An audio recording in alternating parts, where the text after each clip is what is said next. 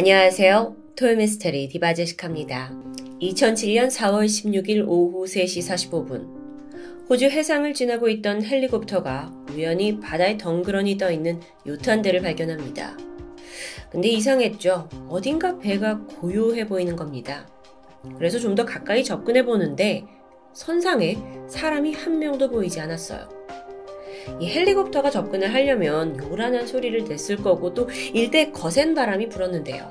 그럼에도 불구하고 여전히 요트에선 아무런 반응이 없었죠. 설마 이거? 불길한 예감이 들어서 바로 신고가 접수되었고요. 이후 호주 해안경비대가 출동을 해서 표류 중이던 이 요트를 확인합니다. 배 이름은 카즈 2호, 내부를 살펴보는데 우려와 달리 안은 아무 일도 없었다는 듯 너무도 평온했습니다. 고장이 난 배인가 싶었지만 엔진은 문제 없이 작동을 했고요. 라디오와 GPS 같은 중요 장치도 모두 정상이었죠. 또 구명조끼나 응급조명 같은 것도 다 제 위치에 잘 보관이 되어 있습니다. 게다가요, 자세히 보니까 음, 테이블 위에 노트북이 올려져 있는데 전원이 켜져 있고 또 여러 무선 장비들도 전원이 모두 켜져 있었고요. 심지어 테이블 위에는 곧 식사를 할 것처럼 음식과 식기들이 가지런히 차려져 있습니다. 게다가 요트 한쪽에는 빨랫줄에 옷이 널려 있고요. 또 방금 벗은 듯한 안경과 티셔츠도 보였죠. 이 상황으로만 봤을 때 지금 당장이라도 요트 밑에 쪽에서라도 누군가 아, 오셨어요 하면서 경비대를 반길 것 같은 느낌이었습니다. 자, 그럼 도대체 이 배 안에 있던 사람들은 어디로 사라진 걸까요? 배가 어디서 왔는지부터 알아야 했습니다. 카즈 이호는 사흘 전인 4월 15일 오전 9시에 출항을 시작했어요. 그리고 거의 10시가 지나고 저녁 7시가 돼서 첫 통신이 도착했죠.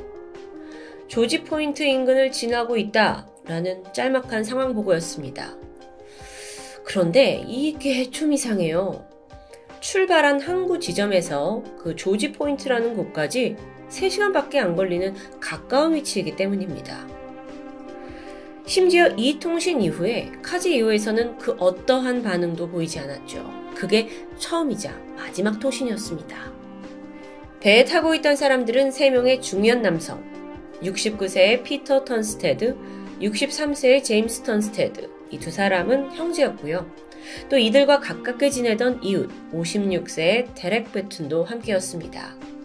이 세 사람은요, 평소에도 트리오라고 불릴 정도로 가까운 사이였죠. 이들이 오랫동안 꿈꿔온 버킷리스트가 있었는데 그게 바로 은퇴를 한 후에 배를 타고 낚시를 하면서 유유자적한 시간을 보내는 거였습니다. 조금만 더 알아보면 턴스테드 형제는 어릴 때부터 항해를 하던 사람들이에요. 또 젊은 시절에는 해상 구조대에서 자원봉사자로 일한 적이 있을 만큼 바다가 친숙한 사람들이죠. 데렉도 마찬가지입니다. 그는 1년 전에 큰 맘을 먹고 1억짜리 새 요트를 구매했는데 이게 길이 9.8m의 쌍동선 요트였습니다. 참고로 쌍동선이란 건 이 사진에서처럼 같은 두 개의 선체를 간격을 두고 가판 위에 결합한 걸 말, 말합니다. 데렉은 이 배에 카즈 2호라는 이름을 붙였고요.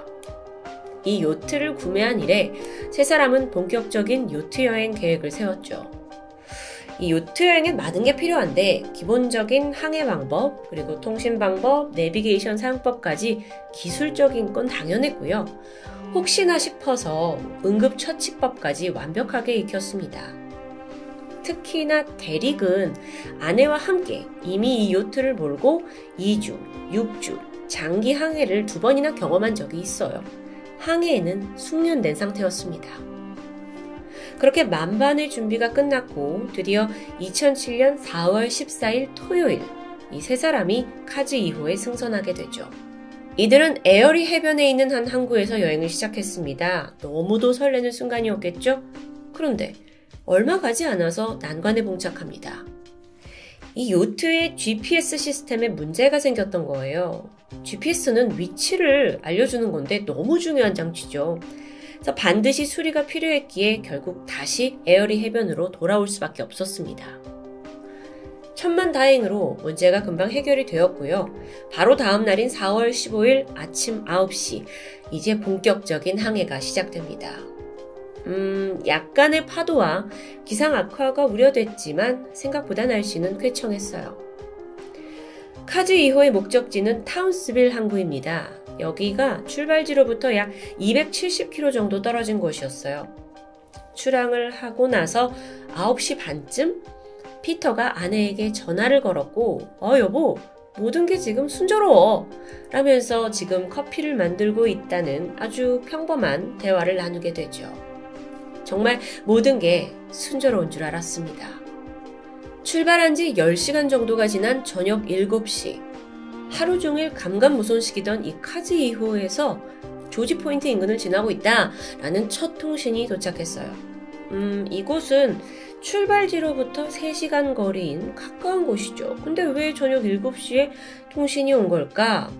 음, 물론 이들이 낚시를 좋아하는 사람들이라 가던 길에 요트를 세워놓고 한참 낚시를 즐겼을 수도 있습니다. 또 만약 그게 아니라면 GPS가 또 한 번의 문제를 일으켜서 위치를 착각했을 수도 있고요. 어쨌든 카즈 2호는 그 이후에도 아무런 통신을 하지 않았습니다. 그리고 출항한 지 3일 만인 4월 18일 해안 경비대가 텅 비어 있는 이 유령 요트를 발견하게 된 거죠. 그런데요, 여러분. 이 발견 지점도 좀 이상했습니다. 출발지는 에어리 해변이었죠. 그리고 목적지는 타운스빌입니다. 그럼 그곳으로 가던 길에 이게 있어야 하는데 배가 놓인 곳 전혀 동떨어진 곳이었어요. 혹시 이들이 중간에 갑자기 항로를 바꾼 걸까요? 음, 가능하긴 한데요. 사실 이 배에 타고 있던 세 사람 모두 지긋한 중년 남성들입니다. 이미 몇 달 전부터 철저히 계획을 한 거인데 항로를 이렇게 중간에 충동적으로 바꿨다는 건 결코 이들의 성향과 맞지 않았죠. 혹시나 응급 상황이 있던 건 아닌가 싶었는데 후명조끼도 다 그대로고 단서가 없습니다. 그러던 와중에 한 가지 눈에 띄는 게 있긴 한데 요트의 돛 한쪽이 좀 심하게 찢겨져 있었어요. 그럼 혹시 풍랑을 만났다? 라고 여기기에는 또 이 찢겨진 돛 하나 외에는 그 어떤 데미지도 배에 보이지 않았고요. 그럼 혹시 해적의 공격? 좀 말이 안 되긴 하죠. 뭐 해적이 아니더라도 뭔가 이들의 돈을 노리고 납치? 해안 경비대가 아예 본격적으로 배를 항구로 가져와서 좀 더 조사했습니다. 일단 이 선내에 위급 상황 때 무기로 쓰일 만한 것들이 그대로 발견됐어요. 침대 아래에서 밀폐된 용기에 들어있던 탄약 총기 또한 그 자리에 있었고요. 또 서랍 안에서 같은 구경의 총알도 발견됩니다. 그러니까 쓰지 않았다는 거죠. 모든 것들이 얌전히 제자리에 있었기 때문에 이 배에서 어떤 범죄나 침입의 징후는 쉽게 찾을 수 없었는데요. 여러분, 다행히 요트에는 항해 루트가 기록되는 GPS 추적 장치가 달려 있습니다. 이게 비행기로 치면 약간 블랙박스 같은 거라고도 볼 수 있겠죠. 요트가 어떻게 어디로 움직였는지를 분석해 보면 사라진 이들의 행방을 알 수 있지 않을까요? 그런데 막상 열어보니까 참 기이하게도 이 GPS에 충분한 저장 공간이 있지 않았습니다. 그래서 오직 그 최근 이틀치만의 기록이 있어요. 근데 지난 이틀은 뭐예요? 이미 배가 해상을 떠돌고 있던 때였기 때문에 사실 그 안에 추적에 도움이 될 만한 정보가 남아있지 않은 겁니다. 아, 너무 답답하죠. 그나마 확실한 건 이 세 사람이 보낸 무전 정보. 우리가 조지 포인트 인근을 지났다. 이것만 확신할 뿐입니다. 어라? 그러고 보니까요. 조지 포인트 이 주변은 모래톱 지대가 형성되어 있었어요. 그럼 이제 추정을 우리가 해봐야 되는데 요트가 여기에 좌초되었을 수도 있죠. 그래서 배를 밀어내기 위해서 세 사람이 일단 바다에 뛰어들었는데 그 순간 돌풍이 닥치면서 요트가 멀어져 버렸고 그렇게 바다에 남겨진 이들이 사고를 당했다는 시나리오. 아, 조금 이제 끼워 맞추기식인 것 같긴 한데 이거 외에도 혹시 이제 배가 자초가 돼가지고 아예 다른 배로 옮겨 탔을 수도 있다라고 생각을 합니다. 그런데 해당 지역에 있던 선박들을 조회한 결과 유사한 일이 전혀 없어요. 결국 이 미스테리를 풀 열쇠는 카즈 2호가 도대체 왜 그렇게 늦은 시각에 조지 포인트를 지나갔는가 여기에 달려 있을 것 같은데 혹시 셋 사이에 뭐 갈등이 생겨가지고 몸싸움을 하다가 한 사람이 바다에 빠져서 어, 파도에 휩쓸렸는데 뒤늦게 아 구해야겠다 하고 두 사람이 다시 들어갔다가 다 같이 빠지게 됐다는 사실 이렇지 않고서야 어떻게 배를 남겨두고 세 사람이 다 사라지냐는 거예요. 물론 이 스토리가 좀 클리셰 같긴 하지만 그나마 이게 그럴듯한 가설로 들리는데요. 여전히 의문이 가시기엔 충분치 않은 느낌입니다.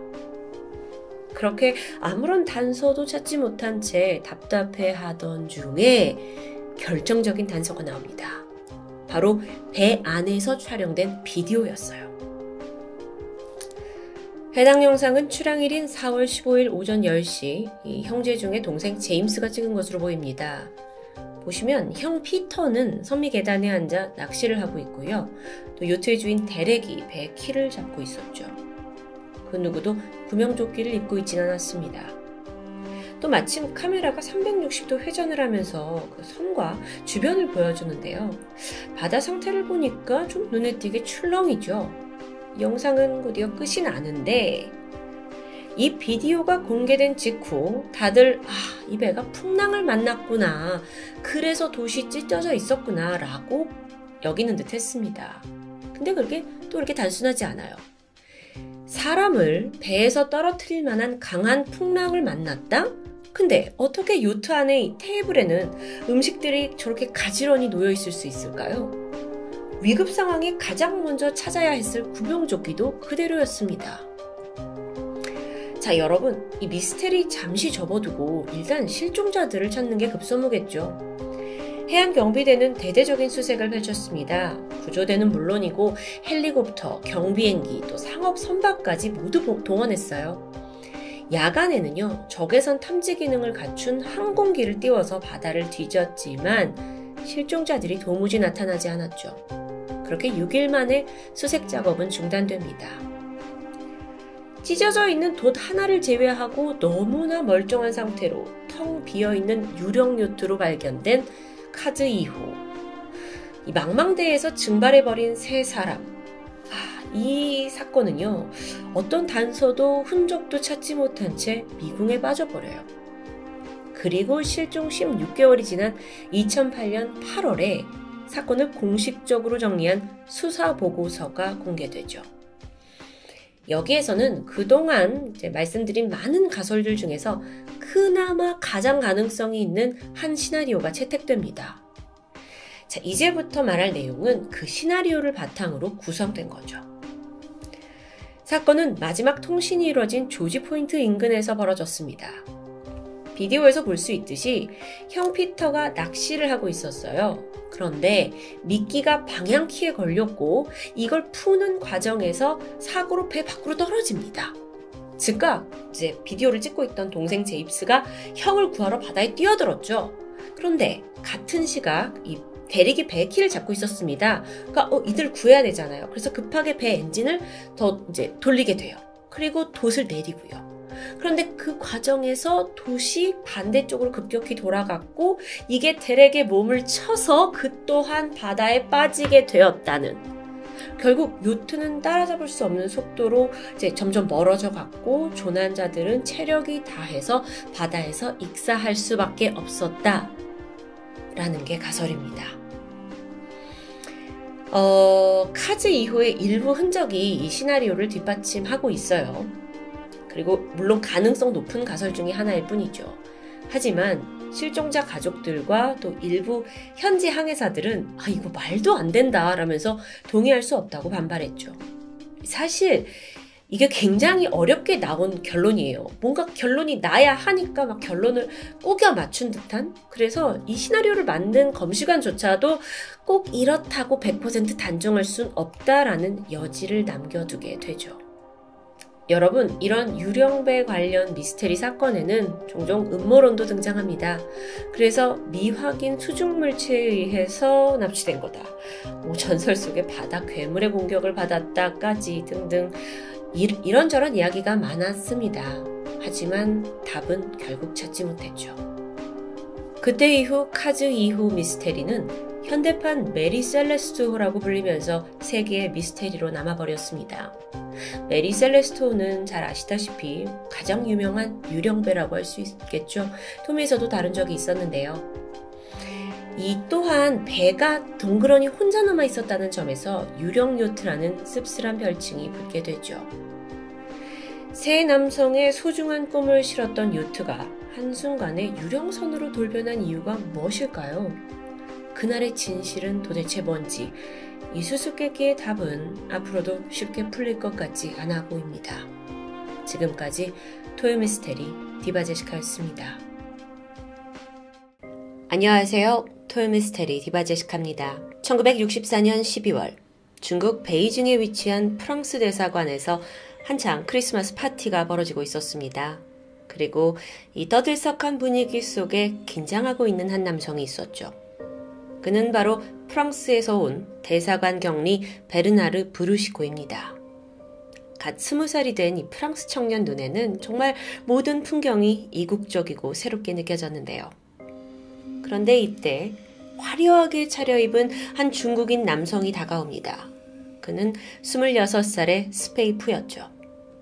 유창한 프랑스어를 구사하면서 자신을 경극 배우라고 소개하는데요. 근데 보니까 남자치고 아담한 키에 꽤 가녀린 체형이었고 얼굴에 수염 하나 없는 다소 중성적인 이미지였죠. 이 스페이프는 프랑스 대사관에서 부인들에게 중국어를 가르치는 알바를 하고 있었는데 그 인연으로 파티에 참석하게 됐다고 말합니다. 파티가 끝나갈 무렵 프랑스 청년 브루시코와 굉장히 대화가 잘 통했던 스페이프는 그에게 자신의 은밀한 사생활을 털어놓습니다. 사실 아버지가 간절히 아들을 원했어서 어쩔 수 없이 자기가 이렇게 남자로 길러지고 있지만 사실은 여자라는 고백이었죠. 당시 중국은 남아 선호 사상이 굉장히 강했기 때문입니다. 그래서 아버지가 딸이 아닌 아들로 기르고 있던 거예요. 그러니까 생물학적으로는 여자라는 얘기인데 이 비밀을 공유하게 된 스페이프와 브루시코는 금세 가까워졌어요. 스페이프는 남자로 분장을 했는데도 불구하고 이목구비가 꽤 섬세하고 매혹적이었죠. 근데 또 그녀가 굉장히 자신감이 가득 차 있었던 사람이에요. 내가 한때는 남자와 여자 모두를 반하게 한 적이 있었다면서 자신만의 중성적인 매력을 자랑스럽게 여기는 듯 했습니다. 그러면서 브루시코는 점점 그녀의 이 독특한 아름다움에 매료되게 돼요. 둘은 파티 이후에도 자주 만남을 가졌고 더 깊은 사이로 발전하게 되는데요. 그리고 얼마 지나지 않아 사랑에 빠진 브루시코는 그녀에게 청혼하게 되고 두 사람은 결혼에 성공합니다. 그런데 이 결혼 생활이 그리 순탄하게 흘러가진 않았어요. 스페이프가 웬일인지 결혼을 한 후에는 좀 브루시코와 거리를 두는 듯 하는 겁니다. 노출 있는 옷을 좀 피했고요. 부부관계 역시 쉽사리 이뤄지지 않았고요. 이유는 좀 너무 부끄럽다는 이유입니다. 부부관계를 꼭 해야 할 때는 침실의 불을 어둡게 꺼달라고 요구하게 되죠. 게다가 브루시코한테 술을 잔뜩 먹여서 만취하게 만든 다음에야 관계를 허락합니다. 이때 스페이프가 뭐라고 하냐면 이게 중국의 전통 예절이라고 설명을 해요. 브루시코가 좀 이상하긴 했지만 뭐 이 역시 동양의 신비로움이 아니겠느냐라고 여겼고 그녀를 이해하려고 했었습니다. 그러던 1965년 반가운 소식이 들렸죠. 아내 스페이프가 임신을 한 겁니다. 하지만 기쁨도 잠시 당시 중국의 대대적인 문화 대혁명이 시작되면서 시련이 닥치게 되는데 여러분 여기서 문화 대혁명이란 중국 마오쩌둥의 주도하에 강력한 사회주의가 시작된 때를 의미합니다. 문제가 뭐였냐면 이때 외국인들이 심하게 배척을 당했다는 거예요. 대사관도 마찬가지였고요. 결국 중국 정부의 강한 압박 끝에 브루시코는 중국을 떠나야 했어요. 그래서 사랑하는 아내를 두고 어, 중국을 떠났고 이후에 동남아 여기저기를 옮겨 다니면서 생활하게 되죠. 그야말로 생리별을 한 건데요. 그 사이에 아내의 출산 때도 옆을 지켜주지 못합니다. 스페이프는 혼자서 남자아이를 낳았고 아이 이름을 스두드라고 짓게 되죠. 결국 이 아이가 4살이 되었을 무렵에야 브루시코가 위험을 무릅쓰고 다시 중국으로 돌아왔습니다. 그리웠던 아들을 품에 안았고 사랑하는 아내와도 재회했죠. 하지만 시련은 계속됩니다. 얼마 후에 이 수페이프가 외국인과 결혼을 했다는 게 발각이 됐어요. 그러면서 반역죄로 몰렸고 그 길로 바로 공안에 붙잡혀 간 겁니다. 혼란스러운 이 상황에 남편 브루시코에게 한 중국인 남성이 접근해요. 그러면서 내가 그 잡혀간 아내의 신변을 보장해 줄 수 있는데 다만 위험한 조건이 하나 있다라고 내걸게 되죠. 브루시코가 대사관에서 일하고 있잖아요. 그래서 프랑스 기밀 서류를 넘겨달라라고 요구하게 되죠. 이때 브루시코는 오직 아내와 아들을 지켜야 한다는 생각뿐이었습니다. 그래서 순순히 기밀 서류를 빼돌려서 이들에게 넘기게 되는데요. 그렇게 1969년부터 79년까지 총 500건 이상의 기밀 문서가 낯선 남자에게 전달됐습니다. 또한 약속대로 스페이프는 무사히 풀려나서 가족의 품으로 돌아왔고요. 1979년 브루시코는 대사관에서 은퇴를 했고 이젠 자신이 프랑스로 돌아가야 할 때라고 생각합니다. 중국에서는 아내와 아들이 안전하지 못한다라고 생각했기 때문이에요. 그리고 3년 후인 1982년 아내 수페이프와 또 어느덧 16살이 된 아들 수두두 또한 그와 함께 프랑스로 이주합니다. 마침내 온 가족이 이제 한지에 모여서 좀 편안하게 살게 된 건데요. 파리에 사는 동안 스페이프는 자신의 특기를 살려서 경극 무대에 연기자로 서기도 했죠. 행복하고 안정된 가정을 성취한 순간 더 큰 충격이 다가오고 있었습니다. 1983년 6월 프랑스 경찰이 브루시코와 스페이프 집에 들이닥쳤고 부부를 체포합니다. 이들의 죄목은 다름 아닌 스파이 혐의였어요. 브루시코가 중국에서 기밀문서 빼돌렸잖아요. 이게 덜미가 잡힌 겁니다. 근데 브루시코는 난 억울하다. 중국에서 내 아내와 아들을 담보로 협박을 했기 때문에 어쩔 수 없었다. 라고 선처를 구했는데요. 뭐, 어쨌든 정보를 빼돌린 건 자신이죠. 그러니 아내와 뭐, 다른 가족에 대해서는 처벌을 막아달라. 라고 얘기하는데, 프랑스 정부는 단호했습니다. 그러면서 놀라운 말을 하게 되는데, 스페이프가 처음부터 프랑스 정보를 캐낼 목적으로 브루시코에게 접근한 중국 간첩이라는 주장입니다. 물론 브루시코가 이걸 듣고 무슨 소리 하냐 하면서 쉽게 믿지 않았어요. 아니 내 아내도 그동안 공안한테 끌려가고 온갖 풍파 다 겪었다. 그러면서 이 가정을 지킨 사람인데 말도 안 된다 라고 끝까지 두둔을 하게 되죠. 그러자 프랑스 정부가 브루시코에게 더 충격적인 사실을 떨어뜨립니다. 스페이프가 남자라는 거였어요. 네? 지금 18년 동안 결혼 생활을 했고 내 아들까지 낳은 아내가 남자라고요? 브루시코 입장에선 너무 황당한 이야기였죠. 남자처럼 보일 수는 있다. 하지만 나는 그 사정을 잘 이해하고 있다라고 하는데 아, 브루시코는 어쩌면 결코 믿고 싶지 않았던 사실일 수 있습니다. 하지만 프랑스 정부는 이미 수페이프를 검거해서 신체 검사를 끝낸 후에 그녀를, 아니, 그를 남자 교도소로 보낸 후였어요. 확인을 해보니까 생물학적으로 진짜 남자였던 겁니다. 아니, 이게 어떻게 된 일일까요? 스페이프. 그는 1938년 중국 산동성에서 남자로 태어났습니다. 성장을 했고 경극 배우로 활동했어요. 참고로 과거의 중국은 경극에선 오직 남자 배우만 무대에 설 수 있었다는데요. 그러니까 남자가 여장을 한 채 여성 역할도 해야 되는 거죠.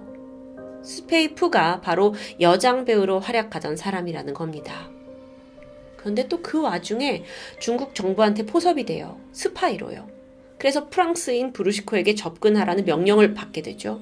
그것도 여자인 척 미인계를 사용해서 접근해야 했습니다. 스페이프는 혹여 내가 남자라는 걸 알게 되면 브루시코가 떠나게 될까봐 더욱 그의 앞에서 예쁘게 치장했고 여성스럽게 행동했다고 합니다. 아니, 아니, 그러면 그 성관계는 도대체 어떻게 된 거예요?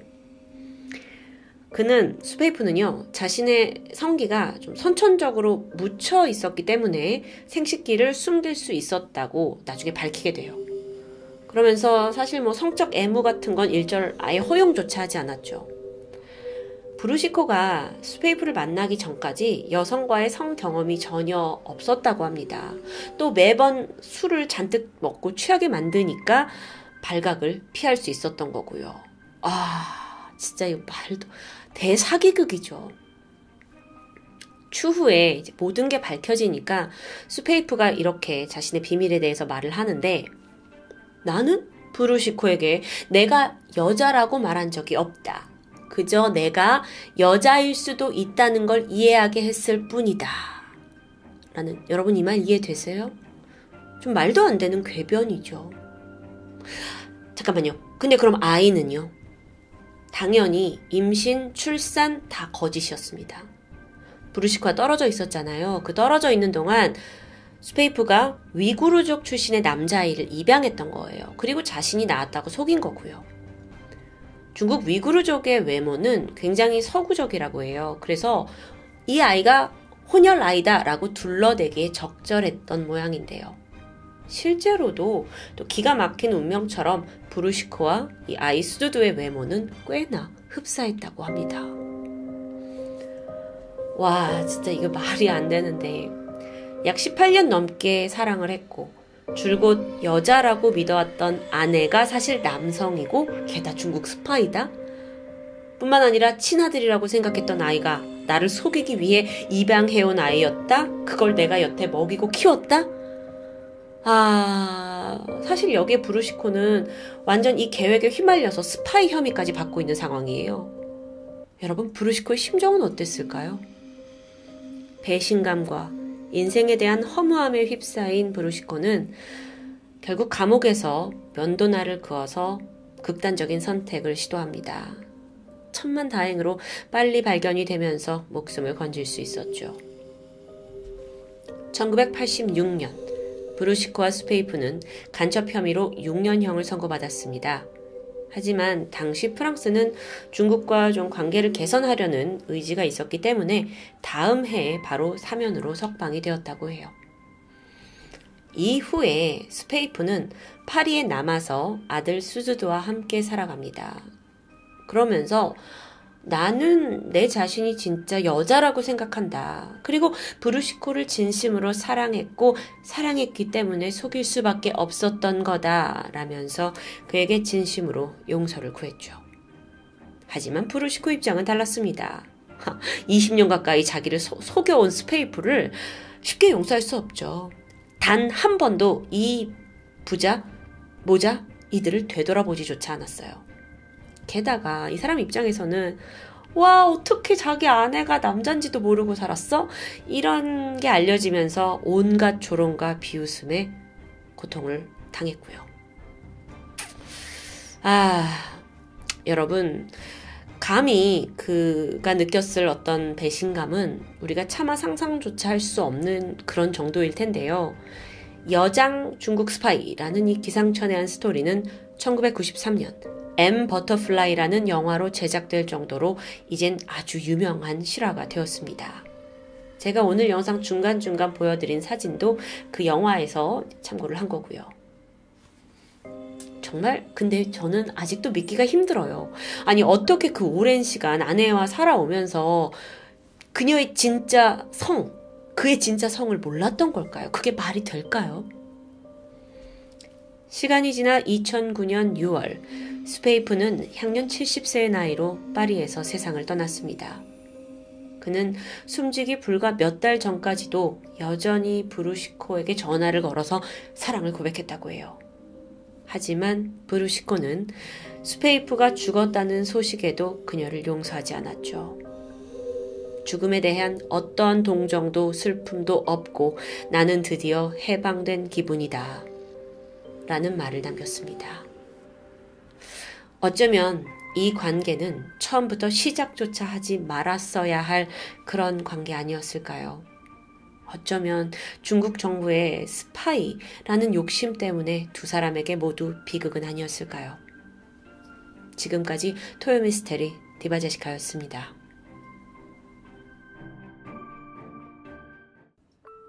안녕하세요. 토요미스테리 디바제시카입니다.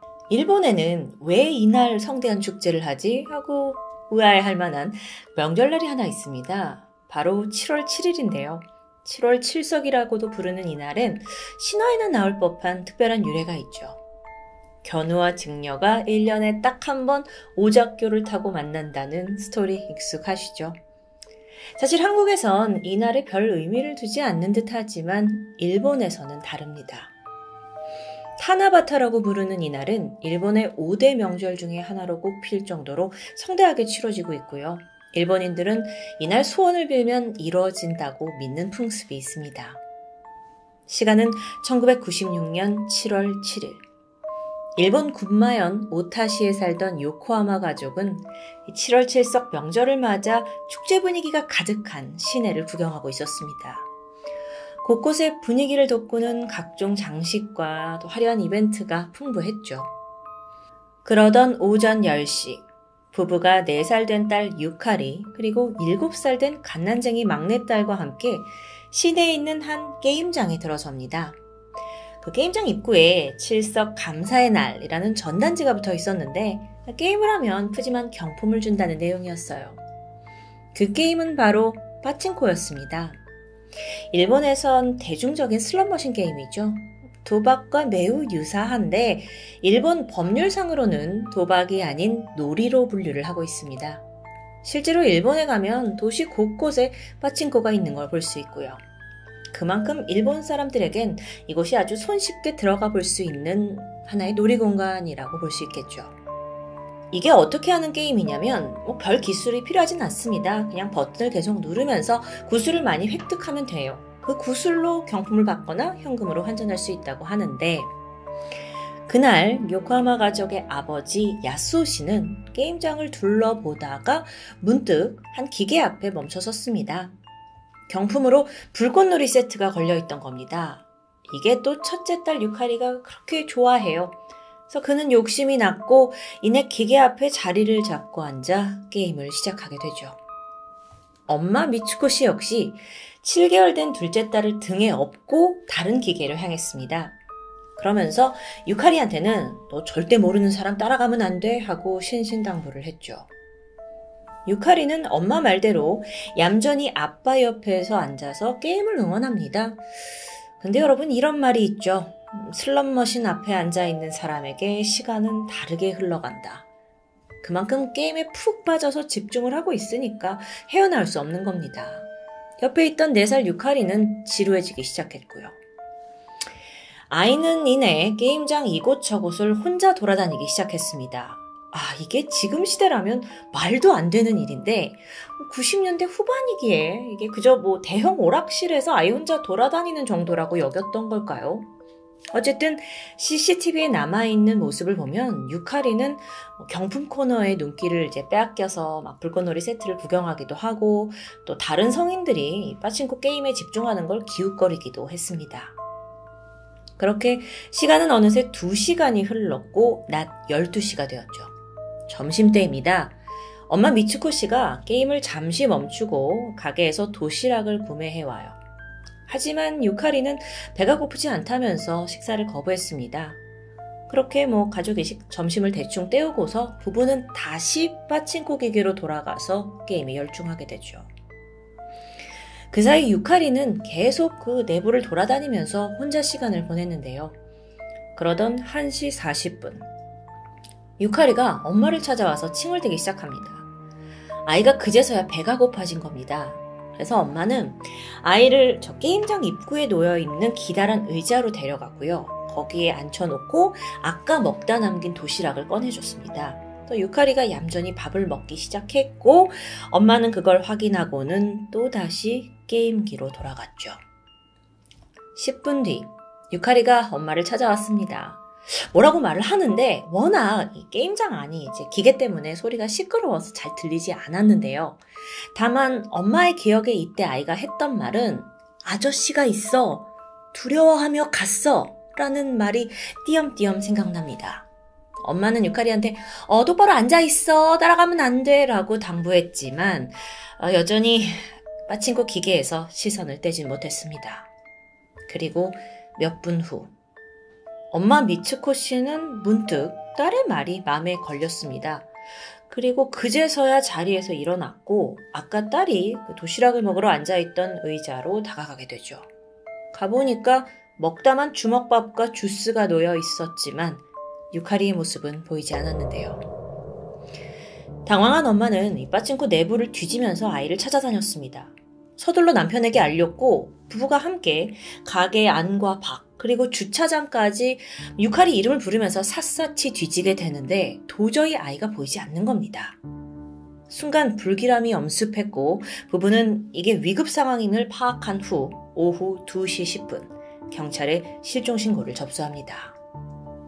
경찰이 투입돼서 내 외부 뭐 본격적인 수색을 했어요. 하지만 어디에도 아예 흔적은 없었죠. 무엇보다 안타까운 건 그날 게임장 안에 꽤 많은 사람들이 있었습니다. 하지만 4살짜리 유카리를 눈여겨본 사람은 한 명도 없었다고 하는데요. 어른들 모두 게임에 열중한 나머지 이 혼자 돌아다니는 아이, 이 아이한테 주목하지 않았던 겁니다. 안타깝죠. 그로부터 이틀이라는 시간이 지난 1996년 7월 9일, 경찰은 기동대 70명을 동원해서 게임장 너머 주택가, 상점, 그리고 또 근처에 있는 하천까지 수색 범위를 넓혔습니다. 그리고 그 와중에 극적으로 제보 하나가 등장해요. 이 근처에서 4살 정도 돼 보이는 어린 소녀가 흰 자동차에 타는 걸 본 사람이 나온 겁니다.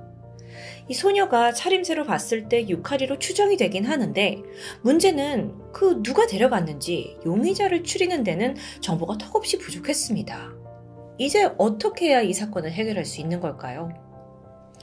작은 단서라도 절실했던 경찰. 그래서 빠친코 안에 설치되어 있던 CCTV를 수십 번 돌려보게 됩니다. 아이뿐만이 아니라 그날 현장에 있었던 다른 사람들까지요. 그러다가 마침내 특징이 될 만한 장면 하나를 찾아내게 되죠.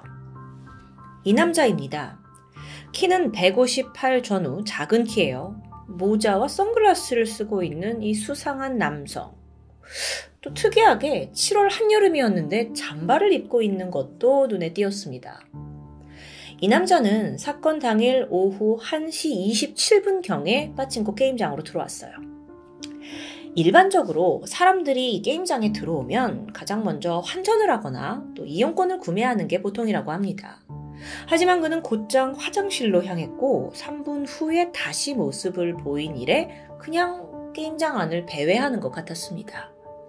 그러다가 경품 코너 앞에서 혼자 돌아다니고 있던 유카리와 딱 마주치는 장면이 CCTV에 남아 있어요. 잠시 후 1시 33분입니다. 남자가 유카리가 앉아있던 그 출입문 옆에 긴 의자에 앉더니만 아이 옆에서 담배를 피기 시작하죠. 그 당시에 CCTV를 잠깐 확인하고 가실까요? 자, 한쪽에 두 사람이 함께 앉아 있는 게 보이죠? 이렇게 손을 뻗치기도 하고요. 바로 이 남자인데요. 내부에서 선글라스를 끼고 돌아다니고 있어요. 자, 걸어다니는 뒷모습도 포착이 되는데, 뭐, 게임을 하려는 건지 어쩐 건지 두리번거리다가, 네, 결정적으로 바로 이 모습입니다. 유카리와 함께 있어요. 둘은 어떤 대화를 나눴던 걸까요? 이 영상 속에서 남자가 손을 뻗는 장면이 나옵니다. 이게 뭐였냐면, 재떨이가 그 유카리 맞은편에 있었던 겁니다. 그래서 그 재떨이를 이렇게 가져오기 위해서 손을 뻗게 돼요. 그러면서 아이한테 말을 건네는 듯한데 또 이후에 손으로 이렇게 가게 밖을 가리키는 듯 하기도 했습니다. 이때 유카리의 반응. 아이는 입고 있던 원피스의 옷자락을 양손으로 잡고 이렇게 좀 팔랑팔랑 흔들고 있었습니다. 네, 이게 심리적으로 보면 이런 행동은 아이들이 주로 곤란한 상황에 처했을 때 보이는 행동이라고 해요. 어떻게 해야 될지 좀 모를 때 말이죠. 잠시 후 오후 1시 42분, 남자가 유카를 남겨두고 자리를 떴습니다. 그가 게임장에 들어온 지 단 15분 만이었어요. 그러니까 잠깐 들어와서 15분 동안 둘러보다 나간 겁니다. 그리고 3분 후인 1시 45분에 앉아있던 유카리가 갑자기 일어나더니 출구 방면으로 향했죠. 아쉽게도 그 출입구는 CCTV 사각지대였기 때문에 이후의 모습은 담겨 있지 않습니다. 혹시 출입구에 서서 남자가 오라고 했던 건 아닐까요? 자, 이제 수사는 유카리의 마지막 행적을 함께한 이 남자에게 집중됩니다. 우선 경찰은 게임장 직원에게 이 장면을 보여주고 남자가 익숙한지 물어보게 되는데 직원들은 다 남자를 처음 보는 사람이라고 말을 하게 돼요. 근데 이상했습니다. 이 사람이 처음 왔다고 하기에는 너무도 능숙하게 들어와서 화장실 위치를 알았고요. 또 출입구에 서서 담배를 피우는 모습이 여기를 처음 온 사람처럼 보이지 않는 겁니다. 그런데 이 CCTV 영상에서 분명 남자가 유카리보다 먼저 자리를 떴어요. 팩트죠. 그렇기 때문에 그가 아이를 납치했다라는 정황은 있지만 결정적인 증거는 없는 상황입니다. 무작정 용의자로 볼 수 없다는 거죠. 하지만 유카리가 실종 직전에 했던 말 기억하시죠? 엄마한테 아저씨가 있다. 근데 이 부분은 또 내용과 일맥상통하기도 하고요. 이 남자가 유카리의 실종과 관련이 있는 걸까? 어쨌든 이 남자는 이 사건의 유일한 실마리입니다. 그리고 나서 얼마 후에 영상 속 남자가 인근에서 벌어졌던 아동 연쇄 실종 사건의 범인이 아니냐라는 의혹까지 제기됩니다. 유카리가 실종된 지역이 군마현 오타시예요. 여기서 가까운 도치기현 아시카사시에서 어, 지난 1979년부터 1990년까지 11년간 무려 4명의 소녀가 납치되고 살해되는 사건이 발생했습니다. 연쇄 아동 사건이죠. 게다가 이 사건들은 지금껏 범인을 찾지 못한 채 장기미지로 남아 있어요. 이 사건들의 연관성을 찾게 된 이유가 있는데 이 실종 사건의 장소가 모두 유카리 때처럼 파친코 가게 혹은 파친코 가게 인근이었기 때문입니다. 그럼 만약에 이 모든 사건들이 동일범에 의한 연쇄 납치 사건이라면 범인은 1979년부터 유카리가 사라진 1996년 17년간 같은 수법으로 여자아이들을 유인하고 있다는 말이 되는 거죠. 물론 이건 정황상 추정일 뿐인데 유카리의 아버지 역시 동일범의 가능성을 강하게 의심하고 있었습니다. 이후 사건이 알려졌고 이 CCTV 또한 일본 내에서 퍼져나가게 되는데 이 남자에 대한 또 다른 의혹도 생겨납니다. 한 TV 프로그램에서 이 남자의 CCTV를 통한 신장, 체격, 행동 패턴을 분석해 보니까 그가 오히려 여성과 가깝다라는 결론에 도달한 겁니다. 네? 여성이요? 사실 그 전까지 어느 누구도 성별을 의심한 적이 없습니다. 당연히 남자로 생각을 했던 거죠. 근데 CCTV를 보니까 이제 유카리와 대화를 하다가 이제 바깥 어딘가로 이렇게 가르치게 돼요. 근데 이때 팔을 이렇게 반쯤 접고 지목을 한 요게 포인트였습니다. 뭐 실험을 해보니까 대부분의 일본 남자들은 방향을 가르칠 때 이렇게 팔을 쭉 뻗는 경향이 있다고 해요. 근데 여성들이 이렇게 팔을 이렇게 반쯤 접은 채 방향을 가르킨다고 하는데 그래서 성별이 여성이다라는 결론에 도달한 거죠. 저는 이것만으로 성별을 판가름하는 데는 좀 무리가 있다고 생각하는데요. 하지만 여성이라는 주장은 다소 지배적이었습니다. 특히나 이 영상 속 인물이 한여름에 굳이 이렇게 두꺼운 옷을 입고 있는 것조차 성별을 감추기 위한 전략이 아니냐라는 의견도 있었죠. 어, 사실 이 사건은 일본 내에서도 많은 관심을 받았고 또 여러 가지 지금 추정과 가설이 나올 정도로 어, 관심을 한 몸에 받았습니다. 그런데 끝내 실종된 유카리의 행방 물론 영상 속에 있는 인물의 정체까지도 전혀 밝혀지지 못했죠. 왜 이리 수사에 진전이 없는 거냐라고 다들 답답해 했는데 한편으론 또 이 아이의 부모가 문제가 있다라고 비난하는 목소리도 높았습니다. 아마 여러분도 같은 생각이실 수 있을 텐데요. 어떻게 아이를 저렇게 두고 몇 시간이나 게임에만 열중할 수 있냐? 부모 자격이 없다 라는 지적이었죠.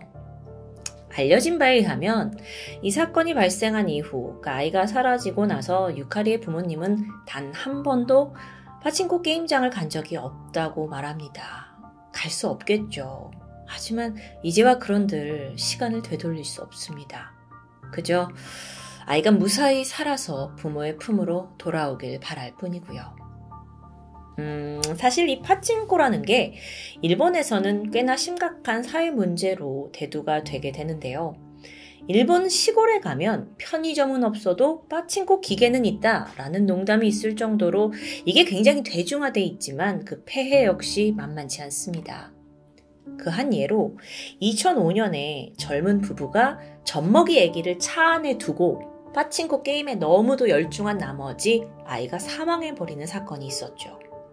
뿐만 아니라 빠친코에 너 너무 중독된 게 아니냐라고 꾸중을 하는 어머니를 아들이 살해하게 되는 아, 끔찍한 폐륜 사건도 있었고요. 물론 앞서서 일본에선 파친코가 놀이로 분류된다라고 말을 하긴 했지만 일본 사람들은 파친코는 음, 도박이다라고 공공연하게 인식하고 있을 정도입니다. 그러던 지난 2019년부터 일본 정부가 이 파친코 기계의 당첨 확률을 확 낮추기 시작합니다.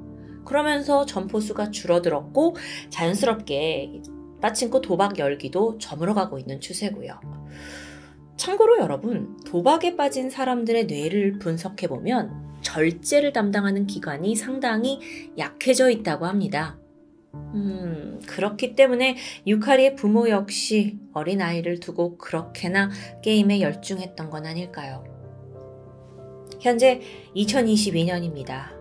어느덧 유카리가 실종된 지 26년이 지나버렸는데요. 부모는 여전히 희망의 끈을 놓지 않은 채 아이를 기다리고 있습니다.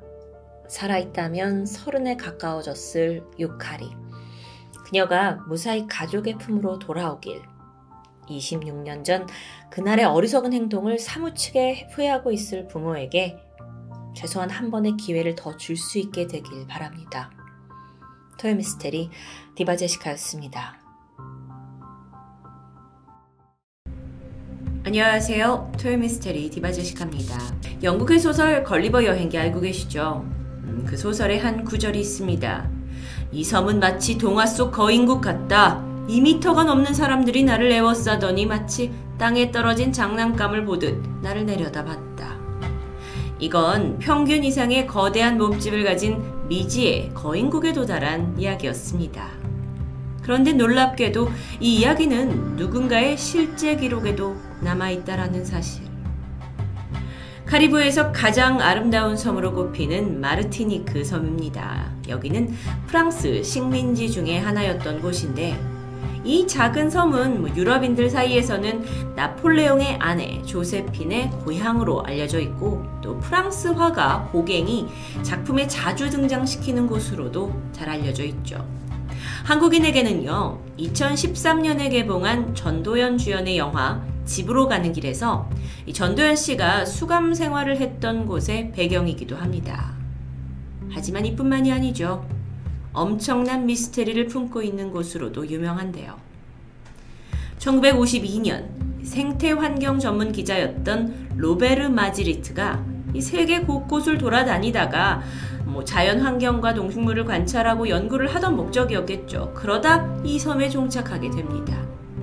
처음 섬에 도착해서 뭔가 느껴지는 이 묘한 낯선 느낌. 정확한 이유를 알 수는 없었다고 해요. 그저 뭐 처음 온 곳이니까 낯설어서 느끼는 것이겠거니 하면서 자료 조사를 위해 섬 안쪽으로 들어가게 되고 원주민들이 사는 마을로 발길을 옮깁니다. 그리고 잠시 후 눈앞에 나타난 이 원주민들을 보자 이 섬이 왜 그렇게 낯선 느낌이었는지를 단번에 알아차렸는데요. 로베르가 원주민 바로 앞에 서서 제대로 쳐다보기 위해서는 일단 고개를 이렇게 젖혀서 들어올려야 했다고 해요. 원주민들은 그 어디서도 보지 못한 거인이었던 겁니다. 이때 로베르는 아, 유독 이 마을에서 덩치가 큰 사람을 만난 건 아닐까 생각했지만 곧이어 마을 주민들을 그를 둘러싸기 시작했는데 이들은 남녀노소 상관없이 모두 키와 덩치가 큰 거인들이었습니다. 당시 유럽 남자의 평균 키가 175cm, 여자는 162cm였다고 해요. 그런데 원주민들의 키를 조사해 보니까 남자가 190cm, 여자가 174cm였습니다. 참고로 현재 평균 키가 가장 크다고 알려진 북유럽 국가의 경우 남자가 평균 키 183cm, 여자는 171cm 정도인데요. 이걸 고려해도 1950년대 마르티니크 섬의 원주민들의 키는 여전히 상당히 놀랄만 하죠. 그런데 이 로베르가 진짜 충격을 받은 이유는 다른 데 있습니다. 섬에 온 이래로 계속 낯선 느낌을 받았던 진짜 이유는 바로 섬의 모든 것이 다 컸기 때문이에요. 그가 섬 이곳저곳을 돌아다니던 중에 한 포도 농장에서 전에는 본 적이 없는 대형 포도를 발견합니다. 포도의 품종 자체가 컸나 싶었지만 조사를 해보니 원래 이 포도의 크기는 약 3분의 1 정도가 정상이었다고 합니다. 아, 게다가 포도의 주기가 1년에 한 번씩 열리는 게 정상인데 이 섬에서는 유독 4개월에 한 번씩 열리는 것도 확인하죠. 같은 품종이요. 조금 더 섬을 둘러보니 평범한 나무 또한 평균 사이즈보다 두배 이상 크게 자랐고요. 아니 일반 개미도 8배나 큰 개미가 기어다니는 것을 보게 됩니다. 심지어 고양이만한 쥐를 발견했다고도 전해지죠. 도대체 어떻게 된 일인가 싶어서 원주민에게 물어봤습니다. 그랬더니 아, 원래부터 이랬던 건 아니라고 하는데요. 마르트니크 섬의 거대화는 고작 4년 전이었던 1948년부터 어느 날 갑자기 시작되었다고 합니다. 이후 이 거인섬에 관련된 어, 모든 자료를 모으게 돼요. 로베르는 사실 이 섬이 너무도 상식에서 벗어난 환경이었기 때문에 충격과 함께 흥미를 느꼈고 섬에 머물면서 여러 조사를 하게 되죠. 그리고 드디어 이 섬이 프랑스 과학 잡지를 통해 세상에 공개됩니다. 당시 마르티니크는 프랑스의 식민지였습니다. 그런데 이 식민지 섬에 존재하는 무엇이든지 간에 거대해진다라는 소문이 들게 되자 여러분이라면 바로 믿을 수 있었을까요? 아닙니다. 프랑스 국민들은 반신반의 하면서도 관심을 보이게 되죠. 어떤 사람들은 말이냐? 말도 안 된다면서 착각을 한 거다라고 하는데 그 중에서는 소문의 진위를 확인하려 직접 섬을 방문하는 관광객들도 생겨나기 시작합니다. 그리고 얼마 뒤 마르티니크 섬에 머물던 외부인 역시 키가 커졌다는 소문이 들리면서 관심은 극대화되죠. 사람들은 이곳을 난쟁이를 위한 천국이라고 부르기도 했습니다. 결국 이 이야기는 프랑스 정부에까지 전해지고 정부는 과학조사단을 정식으로 파견하게 되는데요. 당시 조사단의 주임 연구원으로 글라베그라는 50대 남성이 지명됩니다. 그는 몇 명의 연구원을 데리고 섬에 도착을 해서 조사를 위해 머물기 시작했죠. 아, 이렇게 정부까지 개입해서 뭐 금방 원인을 조사할 것 같았던 미스테리가 이후 2년이 지나도록 왜 이 섬의 존재들이 커지는지 거대화에 대한 원인을 찾지 못한 채 지지부진할 수밖에 없었습니다. 그런데 그러던 어느 날 문득 글라베그가 처음 이 섬에 왔을 때와는 다른 낯선 느낌을 받기 시작했어요. 이런 거였죠. 아니, 전체적으로 이 섬의 물건들이 이렇게 작았나?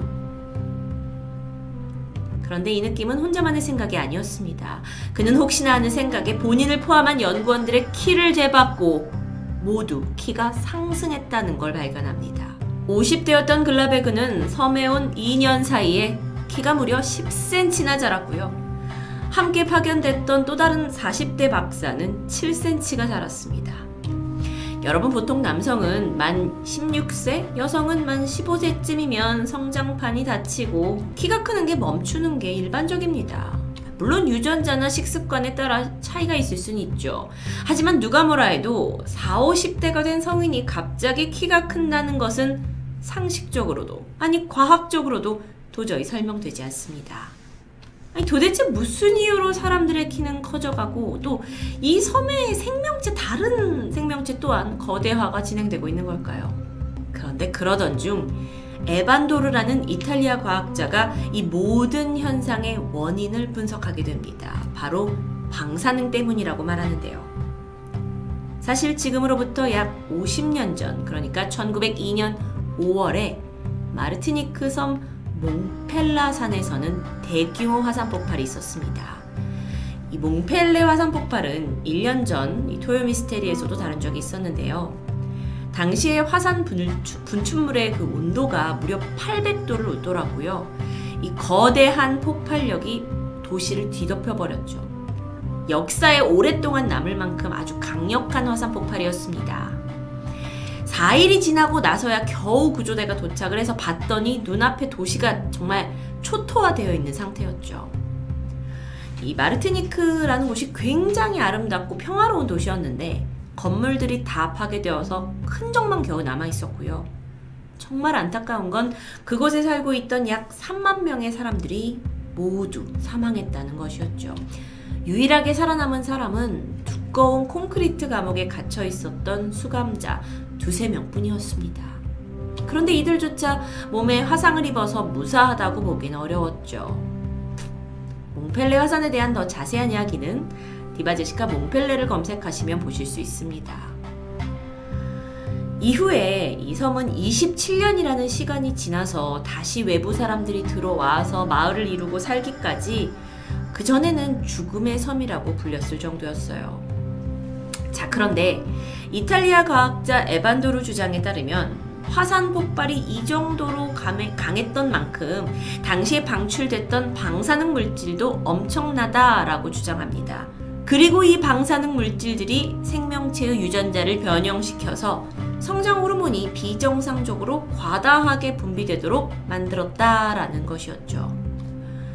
이와 비슷한 예시로는 일본 히로시마를 언급합니다. 2차 세계대전 당시 일본 히로시마에 원자폭탄이 투하되면서 일대가 방사능으로 뒤덮였던 적이 있습니다. 그리고 이후에 10배 이상 커진 나무, 그리고 물고기들이 발견되었는데 추후 조사를 해보니 마르티니크 섬에 있던 광물에서 상당한 양의 방사능이 검출되면서 이 모든 것은 방사능이 원인이다라는 주장에 무게가 실렸던 겁니다. 그런데 여러분, 이건 확실한 답이 될 수는 없습니다. 왜냐하면 방사능에 피폭된 동식물은 과잉 성장을 한다라기보다는 이 사진처럼 좀 더 기형적인 모습으로 변하는 것이 일반적이었습니다.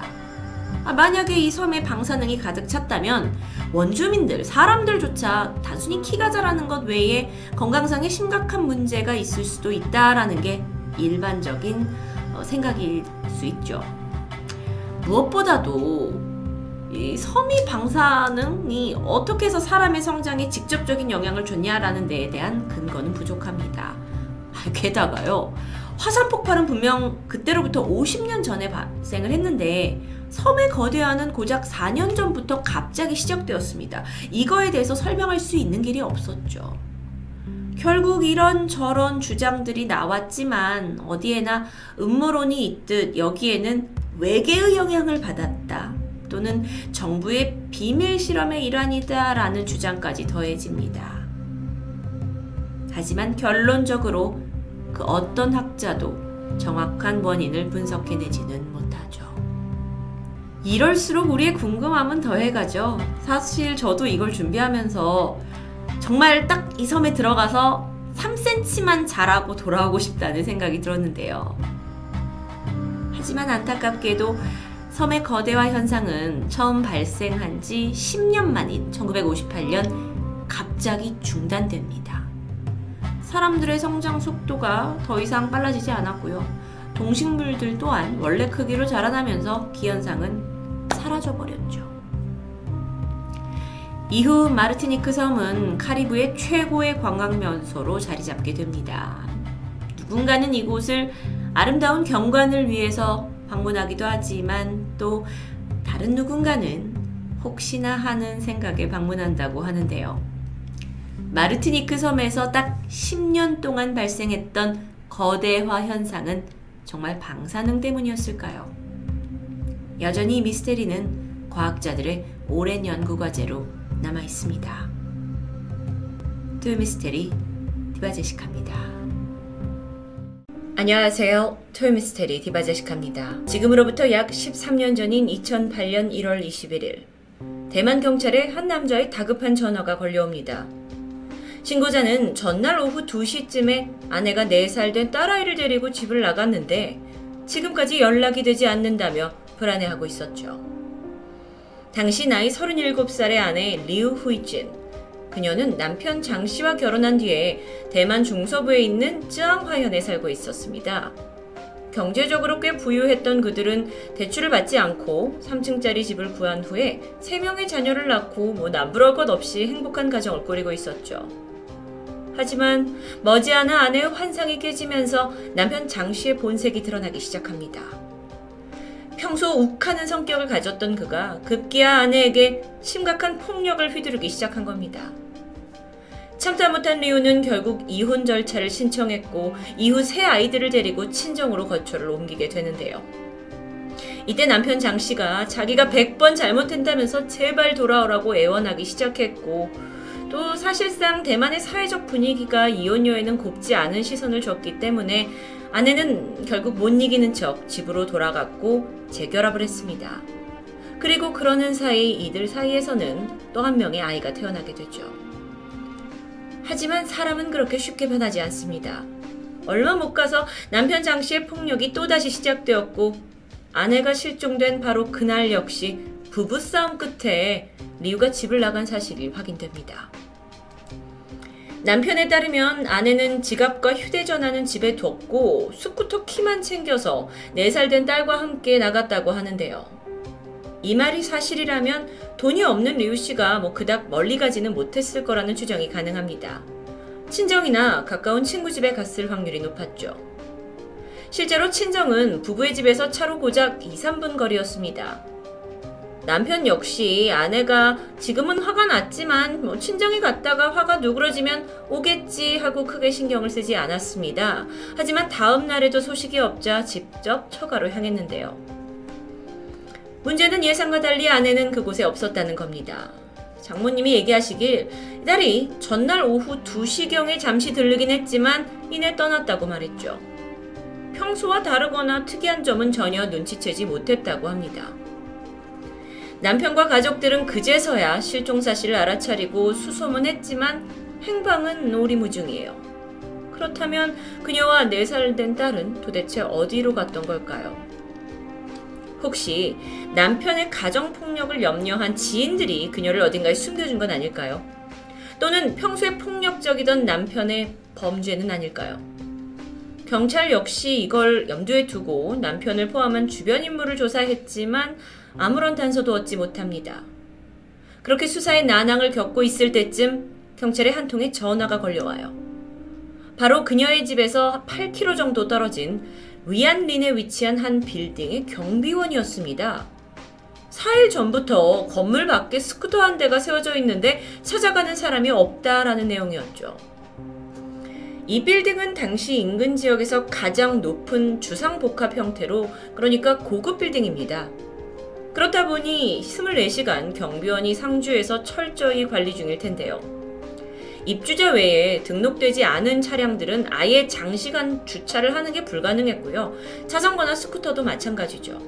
그런데 무려 4일 동안 낯선 스쿠터 한 대가 덩그러니 있으니 신고될 수밖에 없었던 겁니다. 확인 결과 스쿠터의 주인은 예상대로 리우 후이진이었습니다. 경찰은 우선 건물 내외에 설치된 총 13대의 CCTV를 확보했고 확인한 결과 리우가 집을 나섰던 1월 20일 그녀가 오후 2시에 친정을 나선 이래 6시간 만인 저녁 8시에 이 건물의 입구 카메라에 모습이 포착됩니다. 4살 딸아이를 품에 안은 채 빠른 걸음으로 내부로 들어왔고요. 곧장 엘리베이터로 향했죠. CCTV에 찍힌 그녀는 한 치의 망설임도 없이 건물의 맨 꼭대기층인 11층 버튼을 눌렀습니다. 그런데 이제부터 리우 씨의 알 수 없는 행동이 이어집니다. 영상으로 보시죠.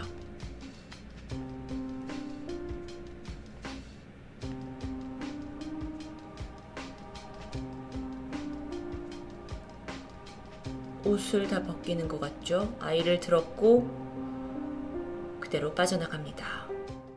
그녀는 바뀌는 층수를 확인하면서 빨간색 겉옷을 벗어 던졌고 이내 딸아이의 핑크색 옷도 벗기기 시작합니다. 굉장히 불안해 보이고 다급한 모습인데요. 땡! 엘리베이터가 11층에 도착하자 층수 표시 화면을 다시 한번 확인하고는 아이를 안고 신발은 엘리베이터에 벗어둔 채 맨발로 황급히 엘리베이터에서 내렸습니다. 자, 그렇다면 그녀가 내린 이 11층. 여기는 작은 불당과 함께 공인중개업소가 입점한 상태입니다. 그마저 그 당시에는 모두 퇴근하고 문이 굳게 닫혀 있던 상황이죠. 11층 복도 CCTV에 그녀가 이렇게 아이를 안고 비상구 계단을 향하는 모습이 찍혀 있습니다. 이 모습을 마지막으로 모녀는 건물에서 홀연히 사라져 버렸는데요. 도대체 무엇 때문에 옷과 신발까지 벗어둔 채 엘리베이터에서 내린 걸까요? 여기서 우리가 흔히 예상할 수 있는 정황이 있습니다. 고층 건물의 맨 꼭대기, 신발을 벗고 비상계단, 혹시 남편의 폭력을 견디지 못해 투신 자살을 한 건 아닐까요?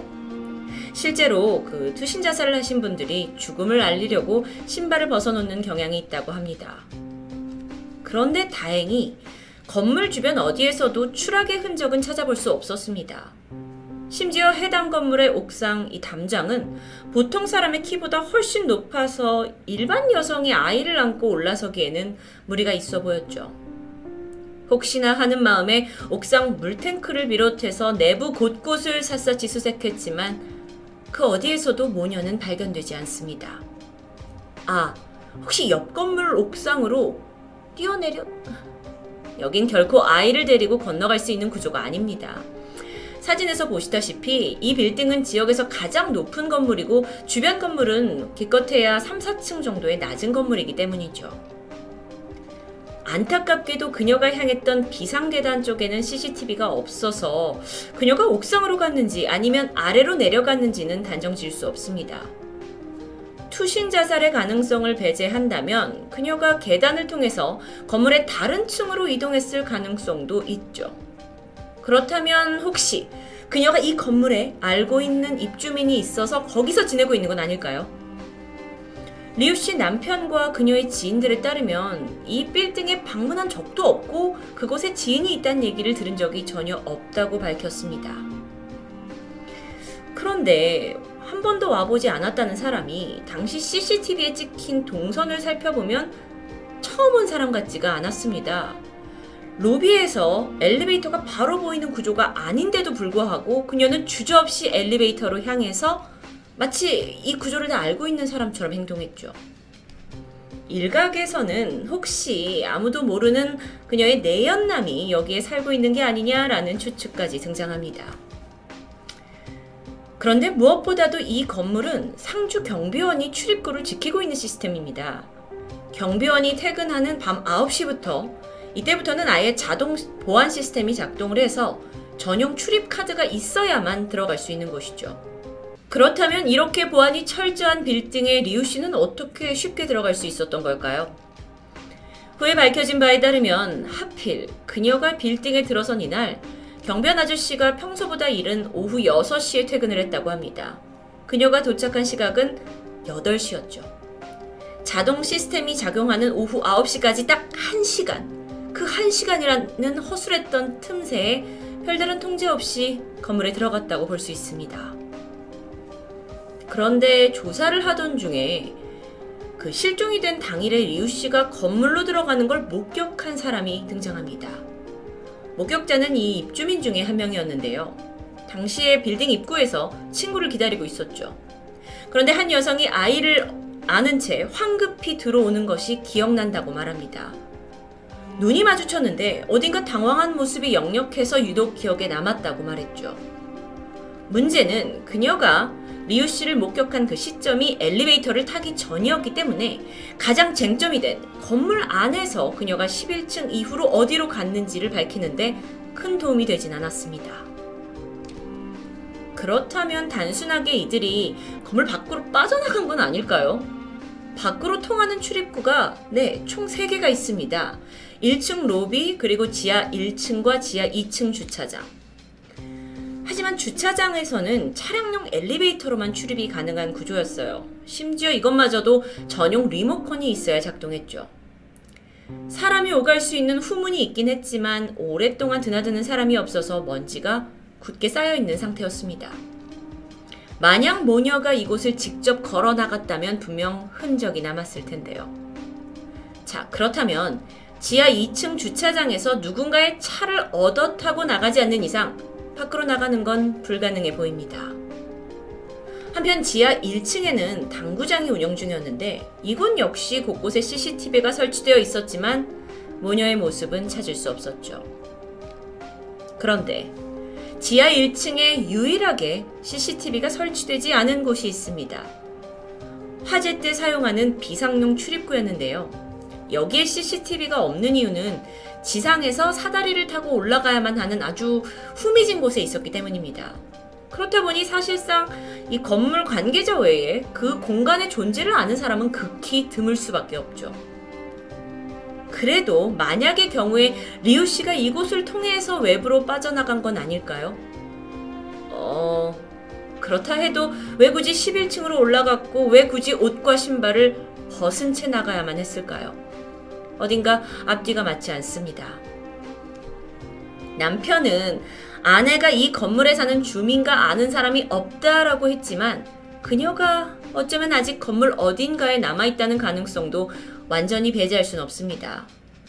만약에 그날 그녀의 좀 이상한 행동을 보고 주민 누군가와 마주쳐서 충돌이 생겨서 살인 사건이 벌어지고 그걸 은폐한 게 아니냐라는 2차, 3차 의혹까지 생겨났는데요. 그 당시에 주거용 건물에서는 3층부터 10층까지 한 층에 4가구씩 살고 있었다고 합니다. 만약 그녀가 누군가 마주쳐서 충돌이 생겼다면 뭔가 소리가 들렸을 텐데 입주자 중에서 그날 아무도 수상한 소리를 들은 사람은 없었다고 말하는데요. 당시 이 사건은 단순 실종 사건으로 처리되면서 경찰은 수색영장을 발부받지 못했습니다. 그러다 보니 3층부터 10층까지 집집마다 돌아다니면서 주민들한테 모녀를 봤냐? 혹시 데리고 있지 않냐? 라고 묻는 것 외에는 사실상 아무것도 할 수 있는 게 없었죠. 만약 그들 중 누군가 거짓말을 한다 하더라도 수사의 강요권이 없기 때문에 사실을 밝히기 힘들었던 겁니다. 그렇게 이 사건은 그냥 미궁에 빠져버렸는데요. 그렇게 5년이란 시간이 흐른 2013년. LA의 한 호텔 엘리베이터에서 실종된 대학생 엘리사 램 사건 잘 알고 계시죠? 이 사건이 대만에서도 대대적으로 보도됩니다. 그러고 보니 상황이 어딘가 유사한 이 모녀 실종 사건 또한 이건 대만판 엘리사렘 사건이 아니냐 하면서 재조명을 받게 되었고요. 경찰이 적극적으로 재조사에 들어가게 되는데요. 우선 그들은 사라진 리우 씨의 신분증과 은행 카드, 의료보험 카드의 사용 흔적을 훑어봅니다. 하지만 지난 5년간 어떠한 생활 흔적도 발견되지 않았죠. 함께 실종된 4살짜리 딸도 5년이 지났으니까 이제 9살이 되어 있을 텐데요. 초등학교에 입학할 나이가 지났지만 전국 어디에서도 아이의 입학 기록은 없었습니다. 현재까지도 대만에서는 이 두 모녀의 행방에 대해 많은 추측이 난무합니다. 하지만 그 어떤 것도 명확한 단서는 존재하지 않죠. 그나마 상황이 좀 변한 게 있다면 모녀가 감쪽같이 사라진 이 빌딩, 이 고급 빌딩에 들어서면 이젠 어쩐지 오싹한 느낌이 든다면서 여긴 해마다 집값이 떨어지고 있다고 합니다. 대만판 엘리사 램 사건. 과연 11층에서 사라진 두 모녀는 어디로 갔을까요? 토요미스테리 디바제식합니다. 안녕하세요. 토요미스테리 디바제식합니다. 2009년 8월 5일 오전 6시 미국 플로리다주 보인튼 비치에 살고 있던 26살의 달리아 디폴리토는 집에서 곤히 자고 있는 남편에게 키스를 한 후 아침 운동을 위해 집을 나섰습니다. 2km 정도 떨어진 헬스클럽에 도착을 해서 음악을 들으면서 한참 운동에 열중하고 있었죠. 오전 6시 40분쯤 전화 한 통이 걸려왔습니다. 발신인은 보인튼 비치 경찰서였는데 달리아의 남편 마이클 디폴리토가 사고를 당했다는 소식이었죠. 그녀는 전화를 받자마자 급하게 집으로 달려갔습니다. 마이클과 달리아 이 두 사람은 결혼한 지 불과 6개월밖에 되지 않은 신혼부부입니다.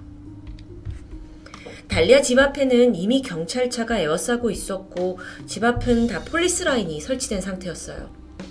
너무 놀란 달리아가 집에 들어가려고 하는데 경찰이 그녀를 저지했죠. 이른 아침 운동을 간 사이 괴한이 침입을 했는데 마이클이 총에 맞았고 안타깝게 현장에서 즉사했다는 충격적인 소식입니다. 그 당시 현장을 담은 영상 확인하시죠. You be the judge of what happens next. Is your husband Michael? Okay, I'm sorry to tell you, man. He's been killed. He's, he's been killed, man. Try to calm down. We know the cops are acting. I can't let you see him, man. What about Dahlia? I need you, I need you to take her to the station. Amidst all of that tremors and shaking of her body, there wasn't any real tears coming out of her eyes. 달리아는 남편의 사망 소식에 울부짖으면서 몸을 떨었고 경찰은 최대한 그녀를 위로했죠.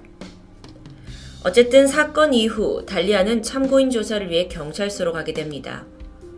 경찰은 이 사건이 일반적인 침입 사건이 아닌 것 같다면서 혹시 주변에 남편과 원한 관계가 있는 사람이 있는지 조사하고 있었는데요. 이때 달리아가 털어놓은 이야기는 예상 외의 스토리였죠. 마이클과 달리아는 1년 전인 2008년에 만났습니다. 두 사람은 금방 사랑에 빠졌는데 결혼까지 가기엔 약간의 문제가 있었어요. 마이클이 전 부인과 여전히 이혼 소송 중이었던 겁니다.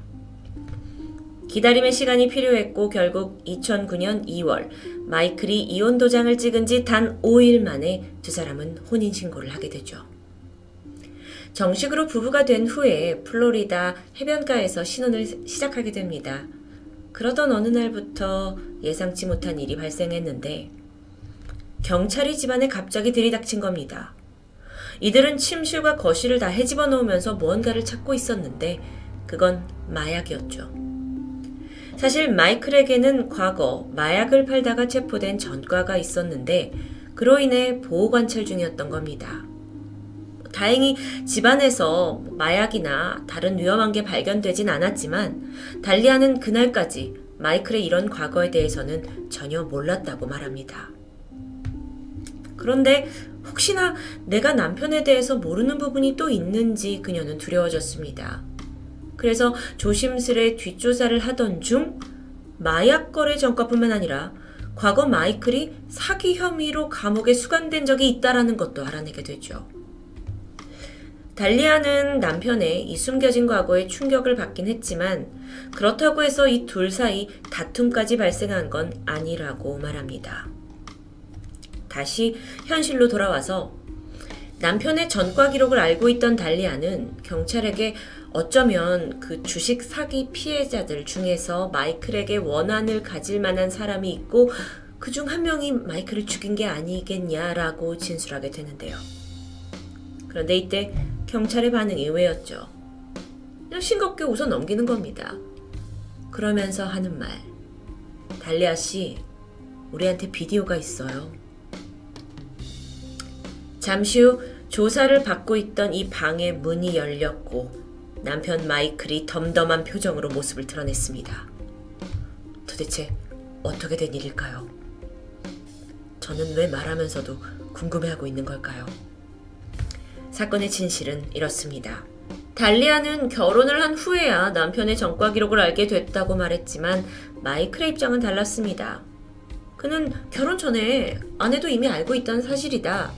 라고 말했는데 마이클의 사실 기록들이 뭐 성실한 사람은 분명 아니었던 것 같은데 분명한 건 돈을 가지고 사기를 칠 만한 머리와 약간의 재산이 있던 사람인 건 확실하죠.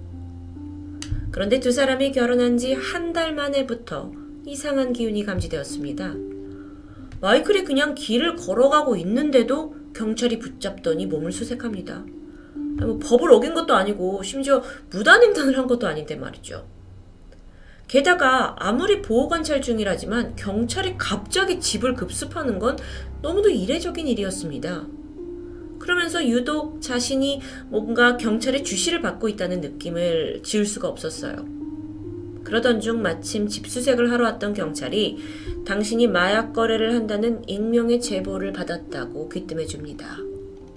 자, 그렇다면 누군가 마이클에게 앙심을 품고 의도적으로 경찰에게 그가 건수를 잡히길 바라고 있는 게 분명한데요. 근데 이후에도 불신검문이 계속됩니다. 뭐 운전하던 중에 경찰이 뒤따라오질 않나. 무작정 차를 막 수색합니다. 그렇게 몇 달간 온갖 수모를 겪었죠.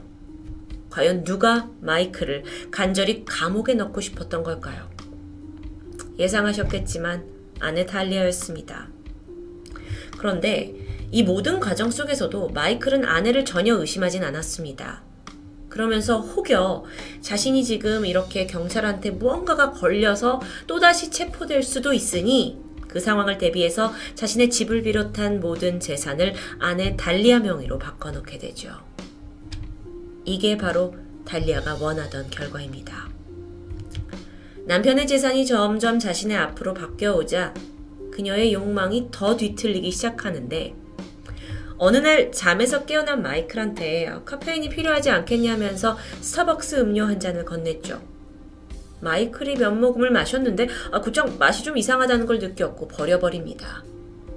그날 이후 마이클은 알 수 없는 이유로 꼬박 며칠을 알아 누워야 했는데 추후에 알고 보니 음료 안에는 자동차 부동액이 들어 있었습니다. 달리아의 짓이었죠. 달리아는 온갖 방법을 쓰고 있는데도 남편이 자신의 계획대로 감옥에 들어가지 않자 아예 죽이기로 마음먹습니다. 그런데 이것 또한 쉽지 않았죠. 그래서 좀 더 확실한 방법을 찾게 되는데요. 달리아 자신과 과거의 깊은 관계였던 전 남자친구 모하메드에게 접근했습니다. 그러면서 자신의 결혼 생활이 너무도 고통스러운데 마이클이 걸핏하면 자신을 거칠게 때린다고 거짓말을 하게 되죠. 이건 동정표를 얻었고 이걸 계기로 두 사람의 사이는 가까워지면서 모하메드는 달리아와 함께 마이클을 처치할 만한 이런저런 계획을 세우기 시작합니다. 그 당시에 모하메드는 이 계획들이 단지 남편을 다시 교도소에만 보내면 되는 줄 알았다고 말합니다. 반면에 달리아는 진심으로 남편을 죽이고 싶어 했죠. 그러던 어느 날 달리아가 남편이 마시는 술에다가 독극물을 넣으면 어떻겠냐라는 계획을 털어놓는데 이때 모하메드가 정신을 차린 겁니다. 어, 이거 어딘가 뭔가 이거 너무 선을 넘었는데? 라는 걸 직감했고 발을 빼려고 했는데 모하메드가 뜻대로 움직여주지 않자 달리아는 이번엔 청부 살인업자를 고용하기로 결심했고 사람을 알아봐 달라고 부탁하게 이르죠. 모하메드는 심각한 고민 끝에 경찰서를 찾았습니다. 그리고 달리아의 이 살인 계획을 모두 다 털어놨고 경찰은 그녀를 확실하게 검거하기 위해선 명확한 증거가 필요했을 텐데요. 경찰이 세운 작전. 우선 모하메드 차에 몰래 카메라를 설치한 뒤에 두 사람의 만남을 모니터링했습니다. 2009년 7월 30일 주유소 주차장에서 두 사람이 만났고 모하메드가 네가 원한 대로 청부살인을 해줄 수 있는 킬러를 구했다 하면서 연락처 하나를 건네게 돼요. 그 번호는 킬러가 아니라 위디진이라는 현직 경찰관의 연락처였죠. 상황이 정말 흥미롭게 진행됩니다. 8월 1일 킬러로 위장한 경찰관 진과 달리아가 드디어 접선했습니다. 이때 진이 물었죠. 당신 정말 남편을 죽이고 싶습니까? 달리아는 한치의 망설임도 없이 변하는 거 없어요. 전 이미 결심했어요. 5000% 정도요? 그리고 그때의 모습 또한 영상으로 남아 있습니다. not have an option to change your mind, even if you change your mind. No, there's no, like, I'm determined already. I'm positive, like, 5,000% sure. There it is. The press would have a field day with this line. Listen again. She's 5,000% sure. I'm positive, like, 5,000% sure. No, when I say I'm going to do something, I'm going to do it. 이날 달리아는 현장에서 보증금 1,200달러, 그러니까 약 150만 원을 건넸고요. 살인을 끝내고 난 후 800만 원을 더 지급하겠다고 약속합니다. 게다가 알리바이가 필요했기 때문에 당신이 마이클을 죽이는 동안 자신은 체육관에 가 있겠다고 약속했죠. 드디어 4일 뒤인 8월 5일 이른 아침 달리아는 정확히 오전 6시에 집을 떠났고 그 사이 경찰이 도착합니다. 그리고 그들이 무엇을 했냐? 가짜 범죄 현장을 만들었어요. 40분 후에 남편 사망 소식을 알렸고 달리아가 급하게 돌아왔을 때 이미 이 집은 정말 살인 사건이 벌어진 것처럼 꾸며져 있었죠. 폴리스 라인 쳐져 있어요. 막 사진 작가가 증거를 잡는 듯 막 연기하고 있어요. 이 모습을 본 달리아는 어땠을까요? 완벽한 범죄가 성사되었다고 기뻐하고 있었을까요? 그래서인지 아까 영상에서 본 달리아는 울부짖는 듯 했지만 그날 앞에 있었던 경찰에 따르면 눈물은 단 한 방울도 나오지 않았다고 말합니다. 그런데 이 사건에는 대반전이 있습니다. 이날 현장에는 경찰뿐만 아니라 미국의 유명 리얼리티 TV쇼 캅스가 경찰의 협조를 받아서 이 모든 과정을 촬영하고 있었던 겁니다. 덕분에 달리아의 이 눈물 연기가 고스란히 카메라에 담겼고 정말 여우 주연급의 충격 연기가 이 한국까지 퍼지게 된 겁니다.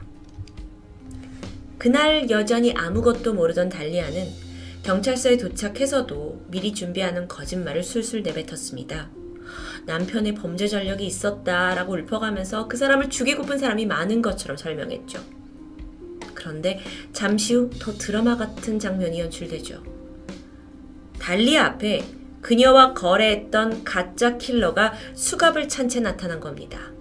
그러면서 경찰은 너 이제 당신 이제 진실을 말해야 합니다라고 압박했죠. 달리아는 눈 하나 깜빡하지 않으면서 전혀 모르는 사람이라고 발뺌했는데요. 그렇게 부정하면 할수록 죄는 더 커지는 걸 전혀 몰랐겠죠. 이 사건의 활용점정은 잠시 후 남편 마이클이 멀쩡히 살아서 등장했을 때입니다. 아, 달리아가 어떻게 반응했을까요? 그녀는 눈물을 보였습니다. 감격의 눈물이요. 당신이 죽은 줄 알았다면서 남편 마이클에게 두 팔 벌려 달려가더니 안겼죠. 이 모습은 놀라움을 넘어서 정말 심하게 가증스러웠습니다. 그렇게 달리아의 쇼가 끝났습니다. 제보와 증거까지 명확한 상황에서 달리아는 1급 살인교사 혐의로 기소됐죠. 하지만 범죄 모의가 이렇게 영상으로 남아있을 만큼 확실한 상황인데도 불구하고 달리아는 혐의를 전면 부인합니다. 이걸 꼭 들어보셔야 되는데요. 달리아의 주장이 정말 너무도 황당해요. 사실 자기는 잠복 경찰이 가짜 청부 살인업자라는 것도 알고 있었고 이 모든 게 리얼리티 쇼 캅스의 추적 촬영 일부였다는 것도 알고 있었다는 겁니다. 아는데 왜 그랬냐? 남편 마이클이 예전부터 리얼리티 프로에 출연을 해서 유명인이 되는 게 꿈이었는데 그래서 제가 살인 청부를 하는 아내 역할을 연기한 것 뿐이라고 설명하게 되는데요. 이 여자 정말 너무 대단하죠. 즉, 다시 말하면 이 모든 것은 남편이 요구한 대로 짜여진 남편의 시나리오라는 그녀의 진술. 이게 재판에서 먹혔을까요? 배심원단은 단 한 명도 그녀의 말에 동의하지 않았고 최종 재판에서 달리아는 유죄를 선고받습니다. 여러분도 어쩌면 다소 느끼셨을 텐데 일각에서는 이 모든 과정을 고스란히 TV쇼에 담아서 방영했다라는 것에 좀 과한 게 아니냐라는 비난도 있었습니다. 또한 시청률을 위해서 뭔가 좀 장면을 억지로 연출한 게 아니냐라는 의혹도 있었죠. 뭐 살인 청부라는 소재가 사실 자극적이긴 합니다. 게다가 범죄자가 막 경찰 품에 안겨서 이 눈물을 짜내는 장면은 어디서도 쉽게 포착하기 힘들죠. 이 부분에 대해 제작진은 자신들은 사건에 전혀 관여하거나 연출된 장면도 없었다라고 하면서 그저 제보를 받고 촬영을 하다가 생긴 우연의 일치라고 설명합니다. 유죄 선고를 받은 이후에도 달리아는 굳건하게 무죄를 주장했습니다. 그리고 수차례 항소를 신청했지만 받아들여지지 않았고요. 그녀는 현재 플로리다 한 교도소에 수감돼서 죄값을 치르고 있습니다. 달리아는 또 다른 별명 히데의 악녀로 불리고 있죠. 어쩌면 제가 토미에서 다뤘던 수많은 범죄자들은 달리아처럼 잔혹하게 미리 살인을 모의하고 또 태연하게 거짓말을 했던 사람들이 아닐까라는 생각이 드는데요. 운 좋게도 달리아는 그 이중적인 모습이 카메라를 통해 낱낱이 드러났죠. 그러면서 속 시원하게 진실이 밝혀진 아주 희귀한 케이스였습니다. 그래서인지 그녀를 잡기 위해 펼쳐진 이 영화 같은 검거 작전은 미국에서 가장 유명한 몰래카메라 중 하나로 손꼽히고 있죠. 오랜만에 속이 시원하면서도 혀를 내두를 수밖에 없는 희대의 악녀 달리아. 토요미스테리 디바제시카였습니다. 안녕하세요. 토요미스테리 디바제시카입니다. 러시아 사람들은 평소 보드카를 즐겨 마신다고 알려져 있지만 이 외에도 홍차를 자주 마시는 것으로 유명합니다. 사진 속에서도 러시아 푸틴 대통령이 만찬에서 홍차를 즐기는 모습을 볼 수 있는데요. 그런데 몇 년 전 벌어진 한 사건으로 인해 러시아에서 홍차는 더 이상 평범한 음료가 아닙니다. 오늘은 값을 도저히 매길 수 없을 만큼 비싸면서 한편으로 러시아 사약이라고 불리게 된 한 홍차와 관련된 살인 사건을 이야기할까 합니다. 그의 이름은 알렉산드르 리트비넨코. 그는 본래 러시아의 연방보안부인 FSB에서 장교로 일하고 있었습니다. 약 12년 동안 국가요원으로 착실히 복무하면서 각종 국가기밀 사건을 다루었는데 그러던 1998년 11월 17일 리트비넨코는 FSB 수장으로부터 누군가를 암살하라는 명령을 받았다 라고 폭로하게 되는데요. 그로서는 목숨을 내놓고 말하는 정말 인생의 중대사였습니다. 먼저 암살의 대상은 러시아 국가안보위원회의 부서기이자 재벌이었던 보리스 베레조프스키 그리고 이것을 지시한 그 당시 FSB 수장은 우리가 익히 아는 인물로 블라디미르 푸틴이었습니다. 사실 두 사람의 사이가 좋지 않다는 것은 공공연하게 알려진 사실이었지만 암살을 명령했다라는 사실은 상당히 충격적이었는데요. 푸틴이라는 러시아 거물급 인사가 몰래 지시한 사항을 무참히 공개해버린 리트비넨코는 결코 무사할 수 없겠죠. 이후 그는 FSB에서 해임되었고 2000년 모스크바를 떠나 영국으로 망명하게 됩니다. 하지만 그는 망명 후에도 용감한 행보를 멈추지 않았습니다. 푸틴 정권을 신랄하게 비판하는 책을 영국에서 두 권이나 출판하면서 이 러시아를 향한 반정부 활동을 계속 진행해 왔는데요. 특히 그의 저서 러시아 들여다보기 Blowing Up Russia에는 이 러시아 정계를 고발하는 구체적인 근거들이 들어있어 많은 주목을 받게 됩니다. 가장 충격적인 내용 중 하나는 1999년 모스크바에서 일어난 아파트 폭발 사건이 테러가 아니라 푸틴을 권좌에 오르게 하기 위한 러시아의 자작극이라는 내용이었죠. 이렇듯 전직 러시아 비밀경찰 출신에다 러시아가 감추고 싶은 비밀을 폭로하고 다니는 이 경계에 서 있는 리트비넨코는 러시아가 그를 실눈 뜨고 주시하는 것에 개의치 않았고요. 오히려 2003년부터는 영국 해외 정보기관인 MI6에 들어가서 러시아 조직 범죄 전문가로 활동 범위를 넓혀갑니다. 그러면서 그는 자연스럽게 러시아 마피아에 대한 정보도 수집하게 되는데 마피아들이 러시아 고위급 인사들과도 관련이 되어 있다라는 정황이 속속 드러나게 됩니다. 특히나 이 정보는 1990년대 푸틴이 보좌관 시절에 폭력배들과 긴밀한 협력을 했다라는 것이 드러나게 되는 정말 푸틴으로서는 감추고 싶은 정보들이었겠죠. 이렇게 점점 위험하게 푸틴과 적을 지게 된 리트비넨코. 아무리 영국으로 망명했다 한들 그는 과연 안전할 수 있을까요? 그러던 2006년 10월 초입니다. 수상해 보이는 남자 두 명이 영국에 도착합니다. 이들의 이름은 안드레이 루고보이 그리고 드미트리 코브툰. 두 사람 모두 러시아 비밀 요원 출신으로 런던의 리트비넨코의 암살을 명령받고 오게 된 것이었죠. 요원들은 자신들의 희생양이 살해되는 상황을 이 각도 저 각도로 구상했고 이 암살 계획의 치명적인 독극물인 폴로늄 210을 사용할 예정이었습니다. 폴로늄은 그 독성이 청산가리의 250만 배로 추정되는 끔찍한 방사성 물질입니다. 사진에서 보시는 것처럼 음, 러시아 FSB 실험실에서 이걸 휴대용 살인 무기로 개조해서 요원들에게 나눠줬던 것이었죠.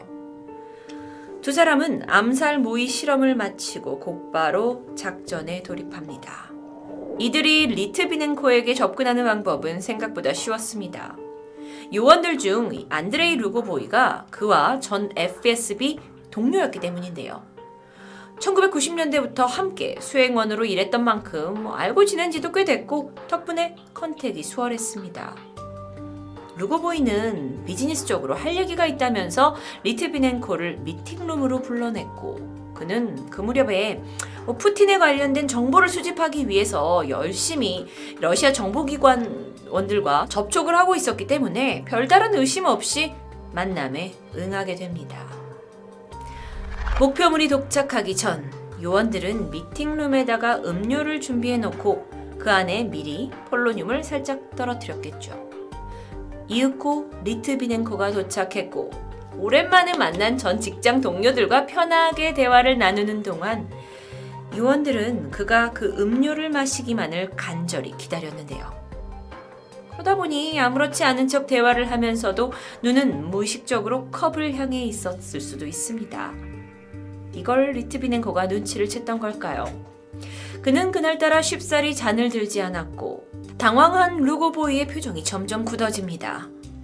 결국 이렇게 첫 번째 작전은 실패로 돌아갔습니다. 요원들은 임무를 수행하지 않고서는 러시아로 쉽사리 돌아갈 수 없습니다. 그래서 다시 리트비넨코에게 접근을 했고 새로운 암살 계획을 짜게 됩니다. 같은 해 11월 1일 루고보이는 오후 3시 30분쯤 음, 리트비넨코에게 전화를 걸어서 아, 할 얘기가 있으니 지금 런던의 한 호텔로 와달라고 말했죠. 이번에도 순순히 응한 뒤 약속 장소에서 만난 두 사람은 호텔 안에 있는 한 고급 바로 들어가게 되는데요. 곧이어 다른 암살자, 다른 요원인 코브툰도 이 자리에 합석하게 됩니다. 테이블에 앉아 여러 가지 이야기를 나누고 있는 이 남자들에게 웨이터가 다가왔습니다. 그리고 술을 권했는데요. 이때 리트비넨코는 어, 괜찮다면서 사양합니다. 그는 원래 술을 마시지 않는 사람이었기 때문이었어요. 그러자 기다렸다는 듯이 루고보이가 어, 내가 마시던 차가 좀 남아있다면서 권합니다. 리트비넨코가 시선을 돌려서 주전자를 보니까 이미 어느 정도 마시고 차가 얼마 남아있지 않은 상황. 온도도 차가웠습니다. 이때 그가 긴장감을 놓았을까요? 그는 주전자를 들어서 자신의 컵에 반 컵 정도 따르게 됩니다. 하지만 바로 입에 가져가지는 않고 컵을 손으로 만지작거리고 있었는데 그러다 그는 잔을 들어서 입을 조금 축이게 됩니다. 근데 이때 혀끝에 닿은 이 차의 맛이 홍차라기보다는 좀 씁쓸한 녹차 같기도 했습니다. 너무 식어서 그런가? 그는 영 입맛에 맞지 않았는지 서너 모금 입을, 축, 어, 입을 축이게 되고는 더 이상 마시지 않았죠. 이렇게 세 사람의 짧은 대화는 끝이 났고 리트비넨코는 집으로 돌아갑니다. 그런데 그가 길을 나선 직후부터 심한 복부 통증을 느끼기 시작했어요. 단순히 아까 먹은 음식이 이상했나? 라고 생각하기에 그 정도가 너무 심각했는데요. 식은땀을 흘리며 괴로워하던 그는 결국 쓰러졌고 응급실에 입원하게 됩니다. 하지만 병원에서도 병의 원인을 바로 밝히지는 못했어요. 그래서 손을 써 볼 새도 없이 상태가 급속하게 악화되어 버립니다. 그는 심각한 골수 손상, 장기 손상을 입었는데 이게 너무도 치명적이었던 나머지 며칠 만에 몸을 제대로 움직일 수 없는 지경에 이르게 됩니다. 이때 리트비넨코는 직감적으로 자신에게 죽음이 임박했음을 느끼게 되죠. 중환자실로 옮겨온 그는 이게 어쩌다가 이렇게 되었을까를 생각하다가 아, 호텔에서 마신 차에 독약이 있었구나 라는 사실을 깨닫게 됩니다. 그리고 그 배후를 밟아가던 중 푸틴 대통령이 그 배후에 있다라는 것을 확신하게 되는데요. 그는 이후에 눈앞에 지금 죽음을 앞둔 상태에서도 언론의 인터뷰에 응했고 이 푸틴의 암살 음모를 저승사자의 날개짓이라라고 표현하면서 러시아 정부를 맹렬히 비난합니다. 하지만 그것도 잠시 리트비넨코는 홍차를 마신 지 약 20여일 만에 세상을 떠나고 맙니다. 이후 사건을 조사하기 시작한 영국 경찰은 리트비넨코의 소변과 체내에서 폴로늄 210을 발견하죠. 이 폴로늄은 독성이 치명적일 뿐만 아니라 핵 원자에서 극소량으로만 추출되는 방사성 물질이기 때문에 자연적으로는 거의 존재하지 않는다라고 보고 있는데요. 인공적으로 이걸 만든다 해도 전 세계 연간 생산량이 100g 정도에 불과할 만큼 아주 비싸고 희귀한 성분입니다. 러시아 정부를 맹렬히 비난하던 전직 비밀 요원이 희귀한 방사성 독극물로 사망을 하게 되니까 전 세계가 즉각적으로 주목하게 되죠. 영국 경찰이 이렇게 사망 원인을 밝히게 되자 루보보이와 코브툰이 용의선상에 오르게 됩니다. 게다가 그들이 묵었던 호텔에서 폴로늄이 발견이 되면서 음, 언론도 이 요원들이 러시아 정부의 사주를 받았을 거라고 추정하기 시작했죠. 현실적으로 그 비싸고 희귀한 폴로늄을 살해도구로 사용할 수 있는 사람? 그리고 리트비넨코를 그만큼 죽일 만큼 미워하는 동기를 가진 사람? 배우로는 자연스럽게 블라디미르 푸틴이 지목됩니다. 하지만 결국 이 사건은 어떻게 되었을까요? 수사 과정에서 두 사람이 범인이라는 결정적인 증거가 부족하다. 또한 영국 입장에서는 뭐 확실한 물증 없이 한 나라의 대통령이 거물급인 푸틴을 기소한다라는 것이 영 내키는 일은 아니었을 겁니다. 여, 러시아 정부에서는 어, 전혀 관련된 일이 아니, 아니라면서 모르쇠로 일관했고요. 결국 이 사건은 다 알지만 다 모르는 영원한 미제로 남게 됩니다. 이후에 방사능 홍차, 이건 푸틴 정권의 인권 탄압을 비판하는 단어가 되었습니다. 사실상 푸틴은 자신을 비판하고 있던 어떤 리트비넨코의 죽음을 만천하에 드러나게 되면서 야, 너 나한테 반대하면 어떻게 되는지 알지? 하는 어떤 어, 일종의 사례로서 보여주게 된 거인데요. 어, 노골적인 경고장이라고도 해석할 수 있겠죠. 그런데 물론 이것을 푸틴을 향한 음모라고 바라보는 사람도 있습니다. 오늘 이야기는 리트비넨코의 죽음을 둘러싼 대중적인 가설일 뿐 일각에서는 리트비넨코 자신이 스스로 죽음을 연출한 게 아니냐라고 보는 시각도 있습니다. 그 이유가 워낙 푸틴한테 이제 앙심이 있으니까 전 세계적으로 푸틴의 만행을 고발하기 위해서 직접 폴로늄 210을 사용했다라는 주장이죠.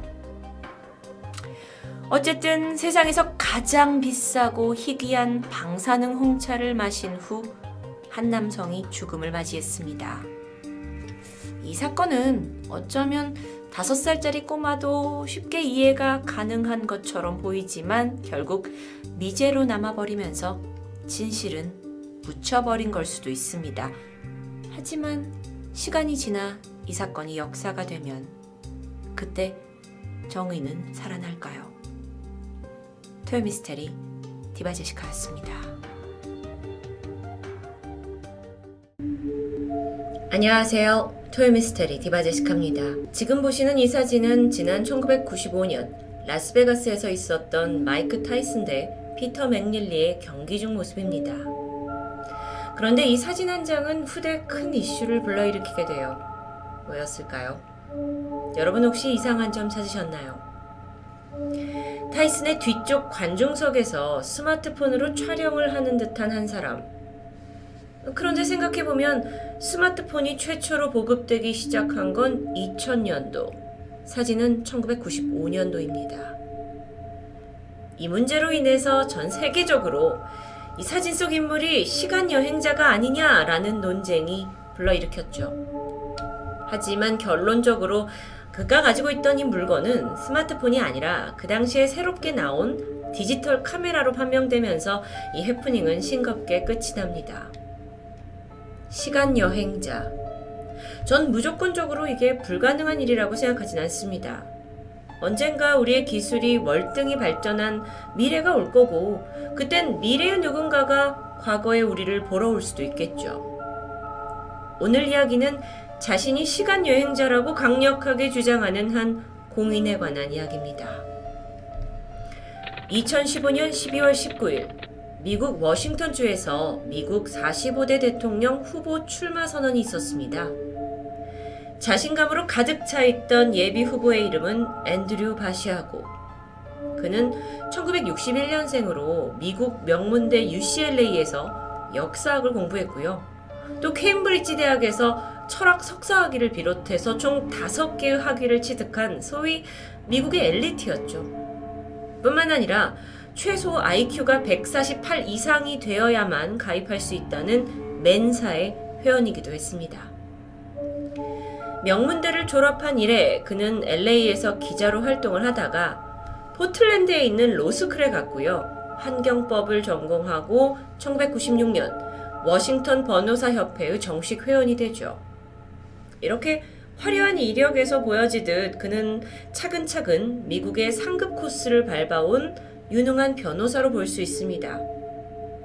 특히나 바시아고는 깔끔한 일처리로 인해서 좋은 평판을 가져왔고 주변 사람들은 그가 정직하고 건전한 사고방식을 가진 그야말로 존경할 만한 사람이라고 칭찬을 아끼지 않았습니다.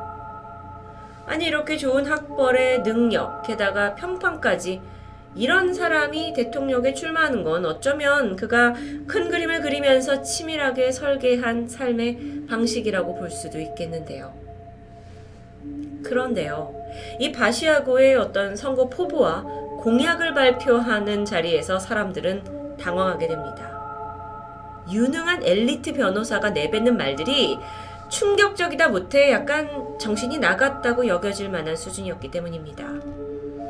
비장하게 대중 앞에 나선 그가 내뱉은 말은 저는 시간 여행자입니다.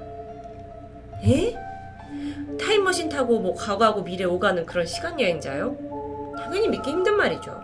이게 대통령 후보 입에서 나올 말은 아닌 것 같은데요. 혹시 너무 스트레스를 받아가지고 정신에 약간 이상이 생긴 건 아닐까요? 근데 이렇게 비웃는 사람들의 반응에도 불구하고 바시아고는 어쩐지 굳건했습니다. 그리고 쉽게 믿기 힘든 그의 과거 이야기를 차분히 풀어가기 시작했죠. 앤드류 바시아고에 따르면 그는 어릴 때부터 명석한 두뇌가 돋보였습니다. 학업 능력도 습득 능력도 누구보다 빨랐죠. 그렇다 보니까 그 특별한 능력을 인정받아서 인디고 차일드로 분류됩니다. 여기서 인디고 차일드라는 건 1970년대에 심리학자이자 심령술사였던 낸시 엔테프가 고안한 개념인데 약간의 그 텔레파시나 염력 같은 초자연적인 능력을 갖춘 어린아이들을 통칭하는 용어입니다. 어렸을 때 영재이자 또 indigo child로 분류된 바시아고 그런데 7살이 되던 1968년에 아버지의 손에 이끌려서 어딘가로 향하게 돼요. 참고로 당시 아버지는 파슨스 코퍼레이션이라는 엔지니어 회사의 연구원이었습니다. 이 회사는 기술 중심의 방위, 정보, 보안 시스템을 연구하고 설계하는 곳이었죠. 그렇게 아버지를 따라간 곳에서 바시아고는 1968년부터 72년까지 무려 4년간 미국 정부의 1급 비밀 연구에 실험자로 참여하게 됩니다. 그리고 그 실험의 이름은 페가수스 프로젝트. 이건 62년부터 72년까지 CIA 그리고 미국 국방성 산하의 핵심 연구 조직인 DARPA가 합작으로 진행했던 1급 기밀 프로젝트였습니다. 바시아고의 아버지 역시 이 프로젝트의 연구원으로 참여 중이었는데요. 어, CIA는 미국의 안보를 담당하는 곳이죠. 그런데 DARPA는 미국 정부의 지원을 받아서 고도의 기술 연구를 진행하는 기관이었습니다. 대표적으로 여기에서 최초의 인터넷이 탄생되었다고 우리에게 알려져 있죠. 아니, 그렇다면 그때 진행된 그 1급 비밀 연구란 게 도대체 무엇이었을까요? 바시아고의 주장은 충격적이었습니다. 이 페가수스 프로젝트를 통해서 경험한 건 다름 아닌 시공간 탐험. 이곳에 있는 연구자들의 목표는 시간 여행과 순간 이동을 위해서 고도의 기술을 개발하는 것이라고 하는데요.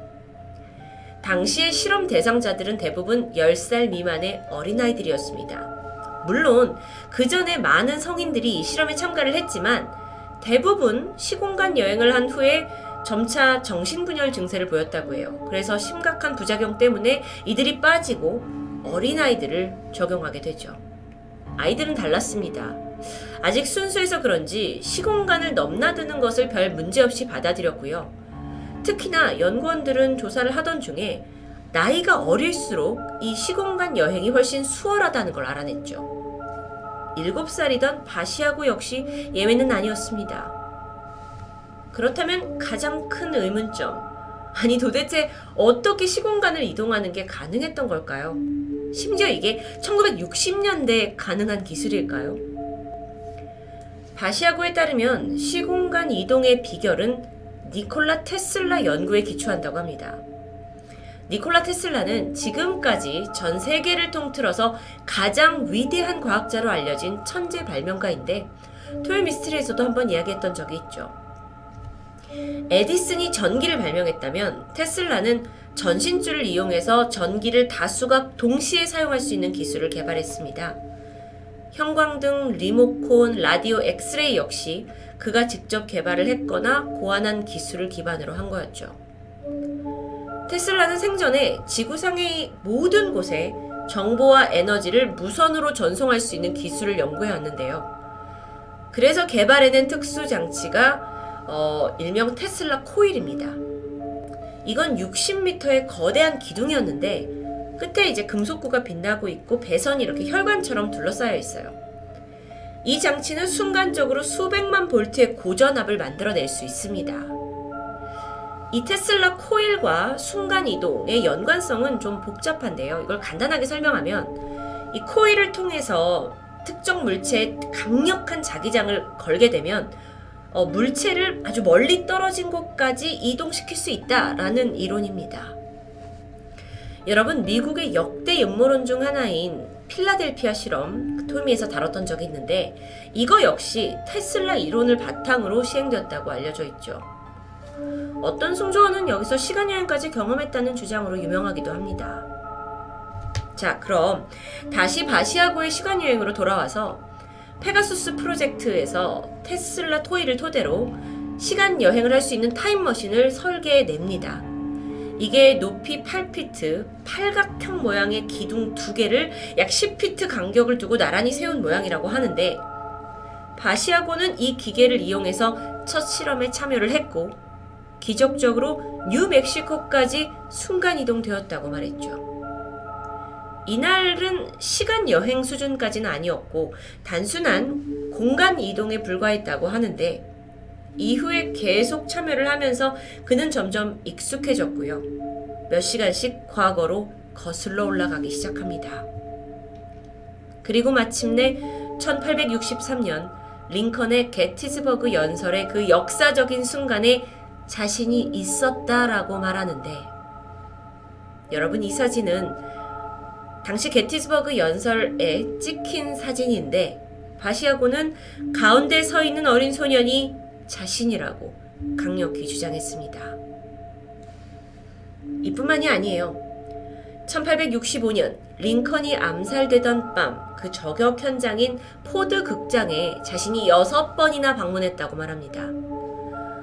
직접 암살을 목격하진 못했다고 해요. 하지만 링컨이 총을 맞았을 때 극장의 위층에 자신이 있었고 총소리가 들리고 나서 극장에 벌어진 그 군중의 소동을 절대 잊을 수 없다고 말하죠. 아주 생생합니다. 자, 그런데 정부가 비밀 프로젝트를 통해 그를 과거로 보낸 이유는 뭘까요? 사실 단순했습니다. 워낙 역사적으로 뭐 기념비적인 순간이기 때문에 그 상황을 좀 더 확실하게 알아보고 싶고 확인하고 싶었기 때문이라고 해요. 이 이야기가 빠져들긴 하지만 참 영화에나 볼 법한 믿기 힘든 이야기인데요. 그런데 바시아고는 자신이 과거로만 간 게 아니라고 말합니다. 2045년 미래로도 여행을 떠났고 그곳에서 에머랄드와 강철로 만들어진 건물들이 즐비한 도시를 봤다고도 말했죠. 뿐만 아니라 아예 지구를 벗어나서 화성으로 순간 이동을 했다고 하는데 정부로서는 화성에 생명체가 있는지 인류가 그곳에 이주할 수 있는지를 보려고 글을 보냈다고 합니다. 시간 여행은 그렇다 쳐도 우주 여행까지 정말 믿기 힘든데요. 2008년 바시아고는요, 이런 어, 자신의 화성 순간 이동을 통해서 본 외계 생명체, 건물, 숲, 동물에 대한 모든 이야기를 통틀어서 논문을 작성했고요. 이걸 내셔널 지오그래픽 협회에 제출하게 되죠. 협회 측에서는 전문성이 떨어진다는 이유로 출판을 거부했습니다.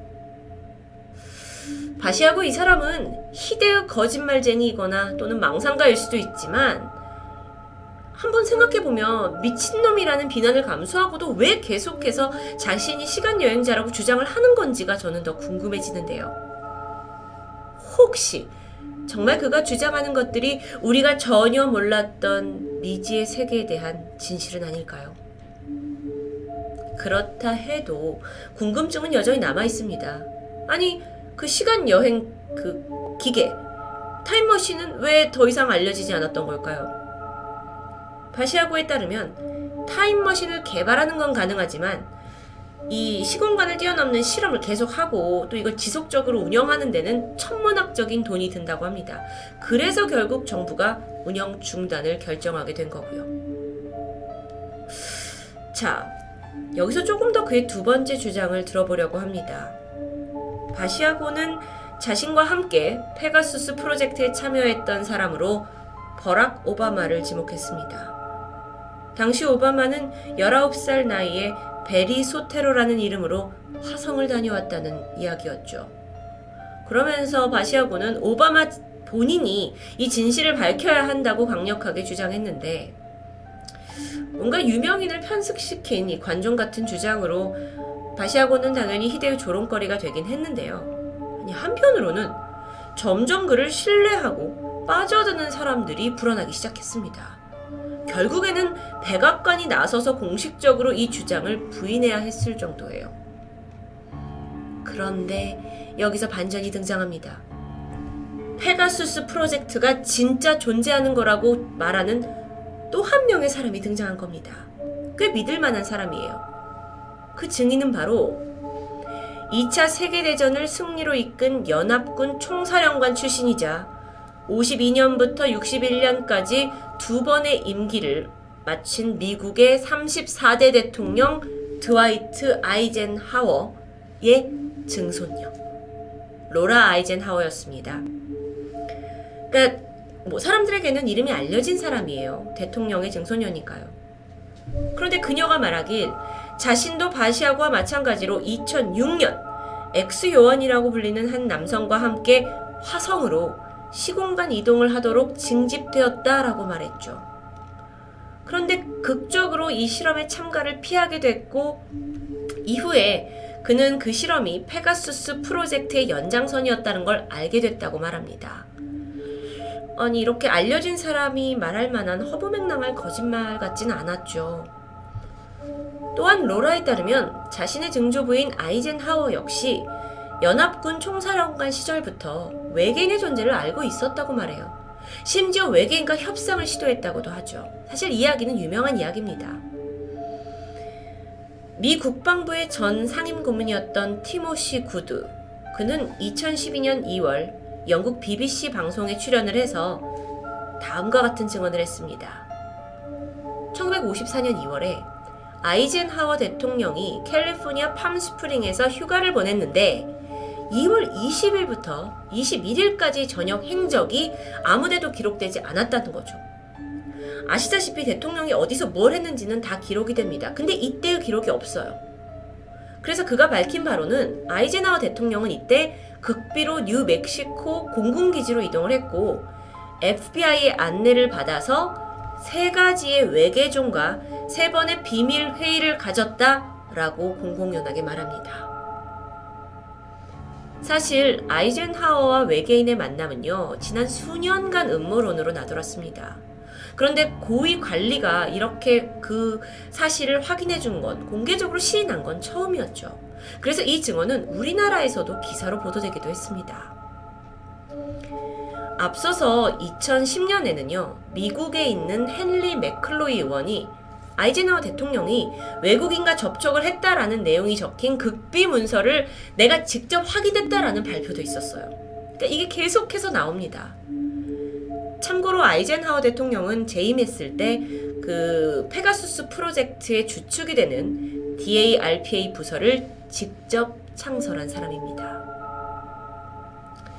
이런 행적으로 비춰봤을 때 중소녀 로라의 주장대로 미국 정부가 오래전부터 외계 문명과 접촉하고 있다는 게 어, 전혀 허무맹랑한 것 같진 않은데요. 저만의 생각인가요? 자, 그렇다면 다시 바시학으로 돌아와서 자기가 직접 실험자로 참여했다는 그 주장은 사실일까요? 1960년대 후반부터 70년대까지 특수한 아이들을 선발해서 시간 여행을 보냈다. 그리고 외계 문명과 접촉하게 했다.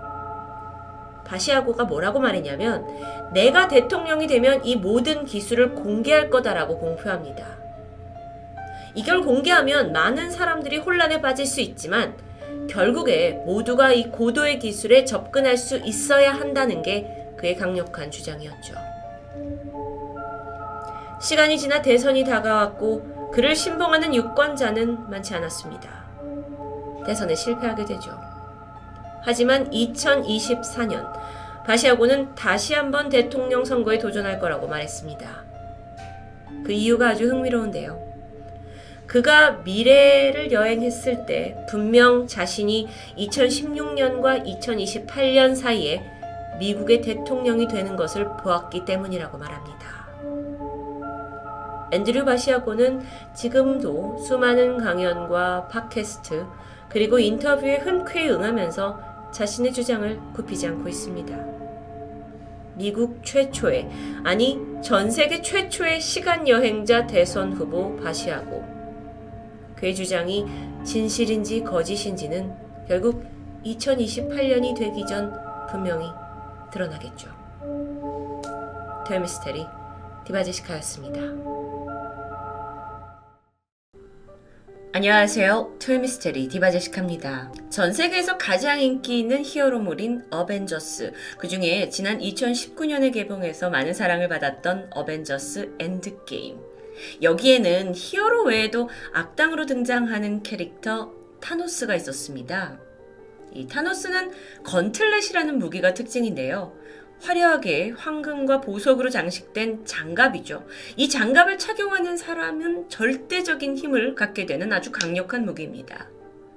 그런데 마냥 허구적일 것만 같은 이 황금 장갑 건틀렛이 사실 실제 모델이 있었다라는 사실 알고 계신가요? 스페인 남부에 있는 안달루시아 지역 말라가의 도시 론다입니다. 여기가 지금은 인구 3만 5천 명의 아주 작은 도시인데요. 어, 아찔한 절벽 위에 마을이 형성되고 있고 또 이 협곡을 잇는 이 상징적인 돌다리가 있어서 유럽 내 많은 관광객을 불러 모으고 있는 곳이죠. 그런데 그 중에서도 이 도시의 중심에 있는 라메르세드 성당에는 카톨릭이 공식 인정한 아주 귀중한 유물을 보관하고 있습니다. 바로 이것이죠.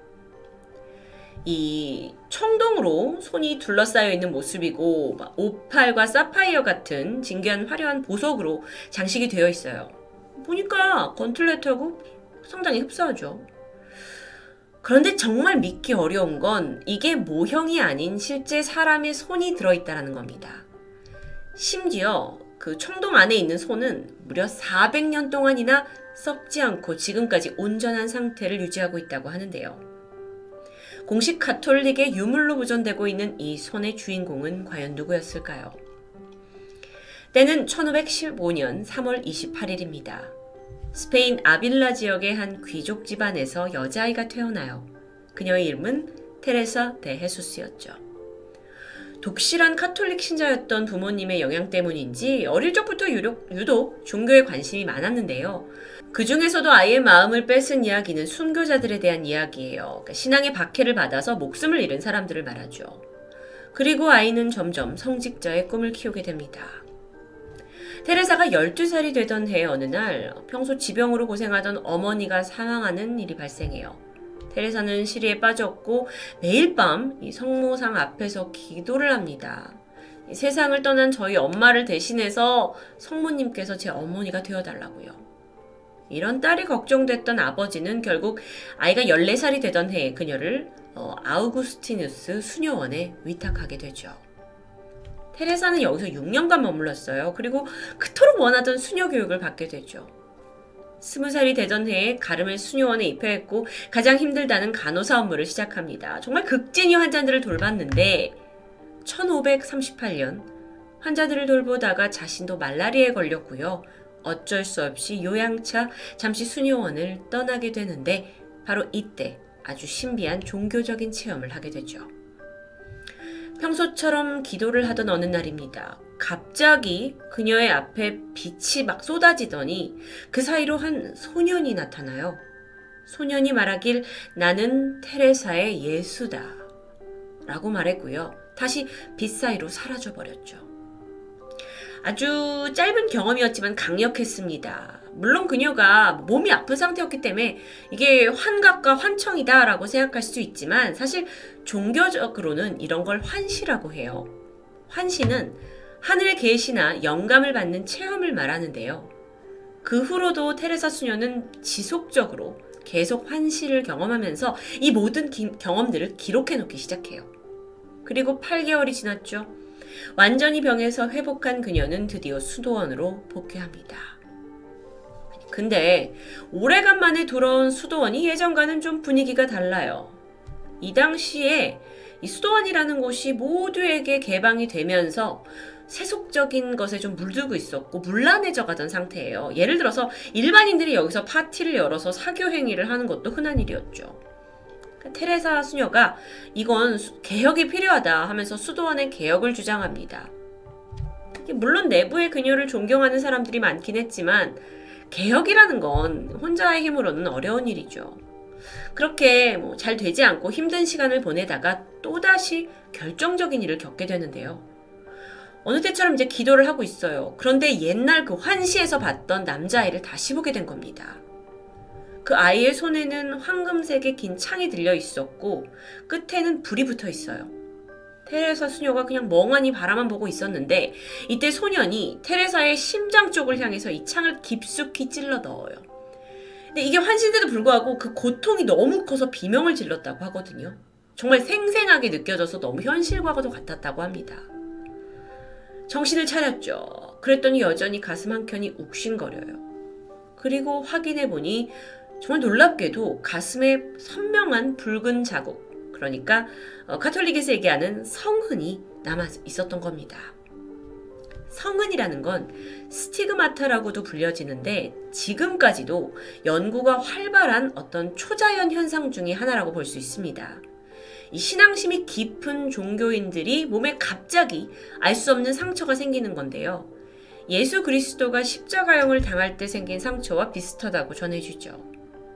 한 예로 지난 1968년에 사망하신 이탈리아의 파드레 피오 신부는 20대 때부터 손에 성은이 생겨났어요. 그리고 사망하실 때까지 약 50년간 매일 상처에서 피가 흘렸다고 전해집니다. 굉장히 유명한 일화예요. 그 정도면 건강상 좀 위험한 게 아니냐 생각이 되는데 신부님은 뭐 빈혈이나 이런 문제는 전혀 없으셨고 대신 피를 멈추게 하기 위해서 거의 매일 장갑을 끼고 생활했다고 합니다. 사진으로도 확인되시죠. 그는 사망하신 이후에 로마 교황청에 의해 공식적인 성자로 추대가 되었는데 사실 지금까지 종교인들 중에서 내가 성은이 생겼다라고 하시는 분들이 약 300여 명 정도가 있습니다. 그런데 공식적으로 교황청에 인정을 받은 건 20% 정도죠. 존재는 분명하지만 그 원인이 뭔지는 여전히 과학적으로 설명되지 않고 있습니다. 어쨌든 다시 테레사 수녀로 돌아와서 그녀한테 성은이 생겼다라는 소문이 나면서 예전보다 훨씬 더 많은 사람들이 테레사 수녀를 따르기 시작했어요. 그 힘을 받아서 대대적인 수도원 개혁에 성공하게 되죠. 마침내 테레사 수녀는 32개의 수도원을 창립까지 하는데 성공합니다. 그런데 그렇게 이제 열심히 평생을 못 마치시다 보니까 건강에 문제가 생겼고요. 결국 1582년 10월 테레사 수녀는 67세의 나이로 세상을 떠나게 되죠. 장례가 치러졌고 그녀의 관은 수도원 인근 지역에 안치됩니다. 그렇게 몇 개월이 지난 어느 날이에요. 그녀의 무덤 근처를 지나가던 한 남성이 아주 향기로운 냄새를 맡았어요. 무슨 냄새지? 하고 막 무덤 주위를 맴돌았죠. 냄새의 근원을 찾아봅니다. 근데 아니 무슨 식물 같은 것도 꽃도 없고 여기에는 향기가 날 만한 게 전혀 없거든요. 근데 그러긴 냄새가 너무 강했다고 해요. 결국 이 소문은 그 가톨릭 교단에까지 알려졌고요. 교단에서 혹시 모르니 테레사 수녀의 무덤을 정밀하게 조사해보자 라고 결정합니다. 그래서 테레사 수녀가 매장이 된 지 5개월 만에 그녀의 관뚜껑이 다시 열려요. 이때 사람들은 믿을 수 없는 광경을 보게 되죠. 5개월이나 지났으니까 뭐 관도 낡아지고 있었는데 그녀의 시신만큼은 정말 어제 사망하신 것처럼 전혀 썩지 않은 상태 그대로였던 겁니다. 그래서 가톨릭 교단에서 의사 선생님을 불러요. 그리고 시신을 살펴보게 했죠. 혹시 무슨 처리가 된 게 아닌가? 방부 처리가 된 것도 아니고 그냥 일반적인 시신일 뿐이에요.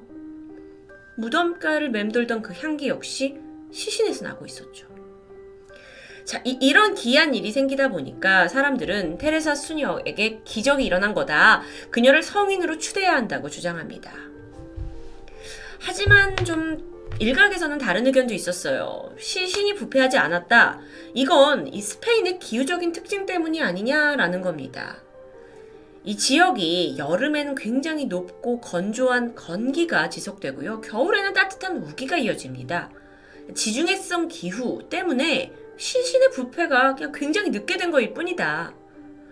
자, 그럴 수 있어요. 근데 이게 성립이 되려면 그 지역에 있는 대부분의 시신에서 부패가 일어나지 않아야 합니다. 또 다른 한편에서는 이 시신이 실압 현상을 거친 뒤에 밀랍화된 거라고 주장했죠. 실압 현상이라는 건 시신의 수분과 피가 다 외부로 빠져나가서 미라 같은 모습으로 변하는 걸 의미합니다. 어쨌든 이런 논란은 계속 있으면서 가톨릭 교단은 차라리 시신을 부검하자라고 결정했고요. 기이한 사실이 드러나죠. 시신의 겉모습뿐만 아니라 테레사 수녀의 몸, 특히나 심장 역시 조금도 부패하지 않은 상태였습니다. 게다 특이한 점은 심장에 예리한 도구로 찔린 듯한 아주 좁고 깊은 모양의 상처가 남아있다는 거죠. 이게 살아있었을 때 생긴 상처라면 굉장한 고통을 유발했을 만한 건데요. 근데 이 상처가 또 일반적이지 않아요. 약간 불로, 뭔가 불로 지진 듯한 꼬챙이로 여기를 이렇게 뚫고 지나간 듯한? 자, 근데 이, 이게 뭔가 기억나시죠? 이런 증거들로 종합해 봤을 때 상처는 그녀가 생전에 증언했던, 다 적어놨던 그 자신이 경험한 그 환시 속의 성흔과도 정확히 일치했던 겁니다. 이 사실이 알려지고 로마 교황청은 발칵 뒤집히죠. 그리고 그 당시의 교황이었던 그레고리 15세는 이것을 모두 승인하고 인정하고 그녀를 성인으로 추대하게 됩니다. 이후 가톨릭 교단에서는 테레사 수녀를 기리기 위해서 그녀의 그 유해 일부를 유물로 남겨두게 돼요. 어, 카톨릭에서는요, 그 모범이 된 성인의 어떤 유해, 혈액 또는 뭐 사용한 물건까지도 유물로 보관을 하고 이걸 후대 보물처럼 간직한다고 하는데요. 그렇게 테레사 수녀의 심장은 지금까지도 유리관에 보관되어 있습니다.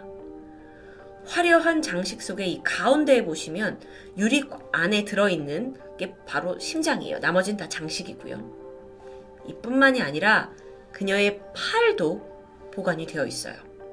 물론 이건 종교적인 의미에서 성스러운 물건이 되겠지만 저에게는 어, 살짝 약간 좀 무서운 느낌이 드는데요. 뿐만 아니라 앞서서 영상 초기에 보셨던 그녀의 손, 청동으로 감싸져서 스페인에 있는 라메르세드 성당에 전시되어 있죠. 와, 근데 이 신비로운 일이 여기서 끝이 아닙니다. 이 소는요, 그녀가 사망한 게 지금 1582년이에요. 그때 이래 지금까지도 썩지 않는 온전한 상태를 유지하고 있다는 거죠. 물론 알려지긴 그렇게 했지만 저는 분명 그 교단 측에서 뭐 아까 심장이나 팔도 방부제 처리를 했던 것처럼 거기에 무슨 처리를 하지 않았나 싶은데요. 어쨌든 스토리는 400년 이상 동안 그대로다라고 알려져 있고 이건 타노스의 건틀렛의 모티브가 되어서 영화에서 재현이 됐던 겁니다. 세상에는 정말 많은 미스테리한 일들이 존재합니다. 여러분도 뭐 토미통에서 아시겠지만요. 400년, 아니 450년간 썩지 않고 보존되고 또 다른 신체의 일부를 보존을 해서 성스럽게 여기고 있는 이 상황. 음, 그녀가 경험한 이 모든 것을 우리는 과연 어떻게 후대에서 해석을 해야 할까요? 저는 아주 그 인간적인 발상으로 정말 카톨릭에서 신자들에게 어떤 신비감을 주기 위해서 이런 밀랍과 방부 처리를 해둔 것은 아니냐, 그리고 거짓 포장하는 건 아니냐라고 세속적인 생각을 해봤는데요. 하지만 그들은 거짓과 기만과는 가장 거리가 멀어야 할 종교인들입니다. 그렇다면 의학적으로도 과학적으로도 도저히 설명할 수 없는 이 일에 우리가 기적이라는 이름을 붙여야 할까요? 토요미스테리 디바제시카였습니다.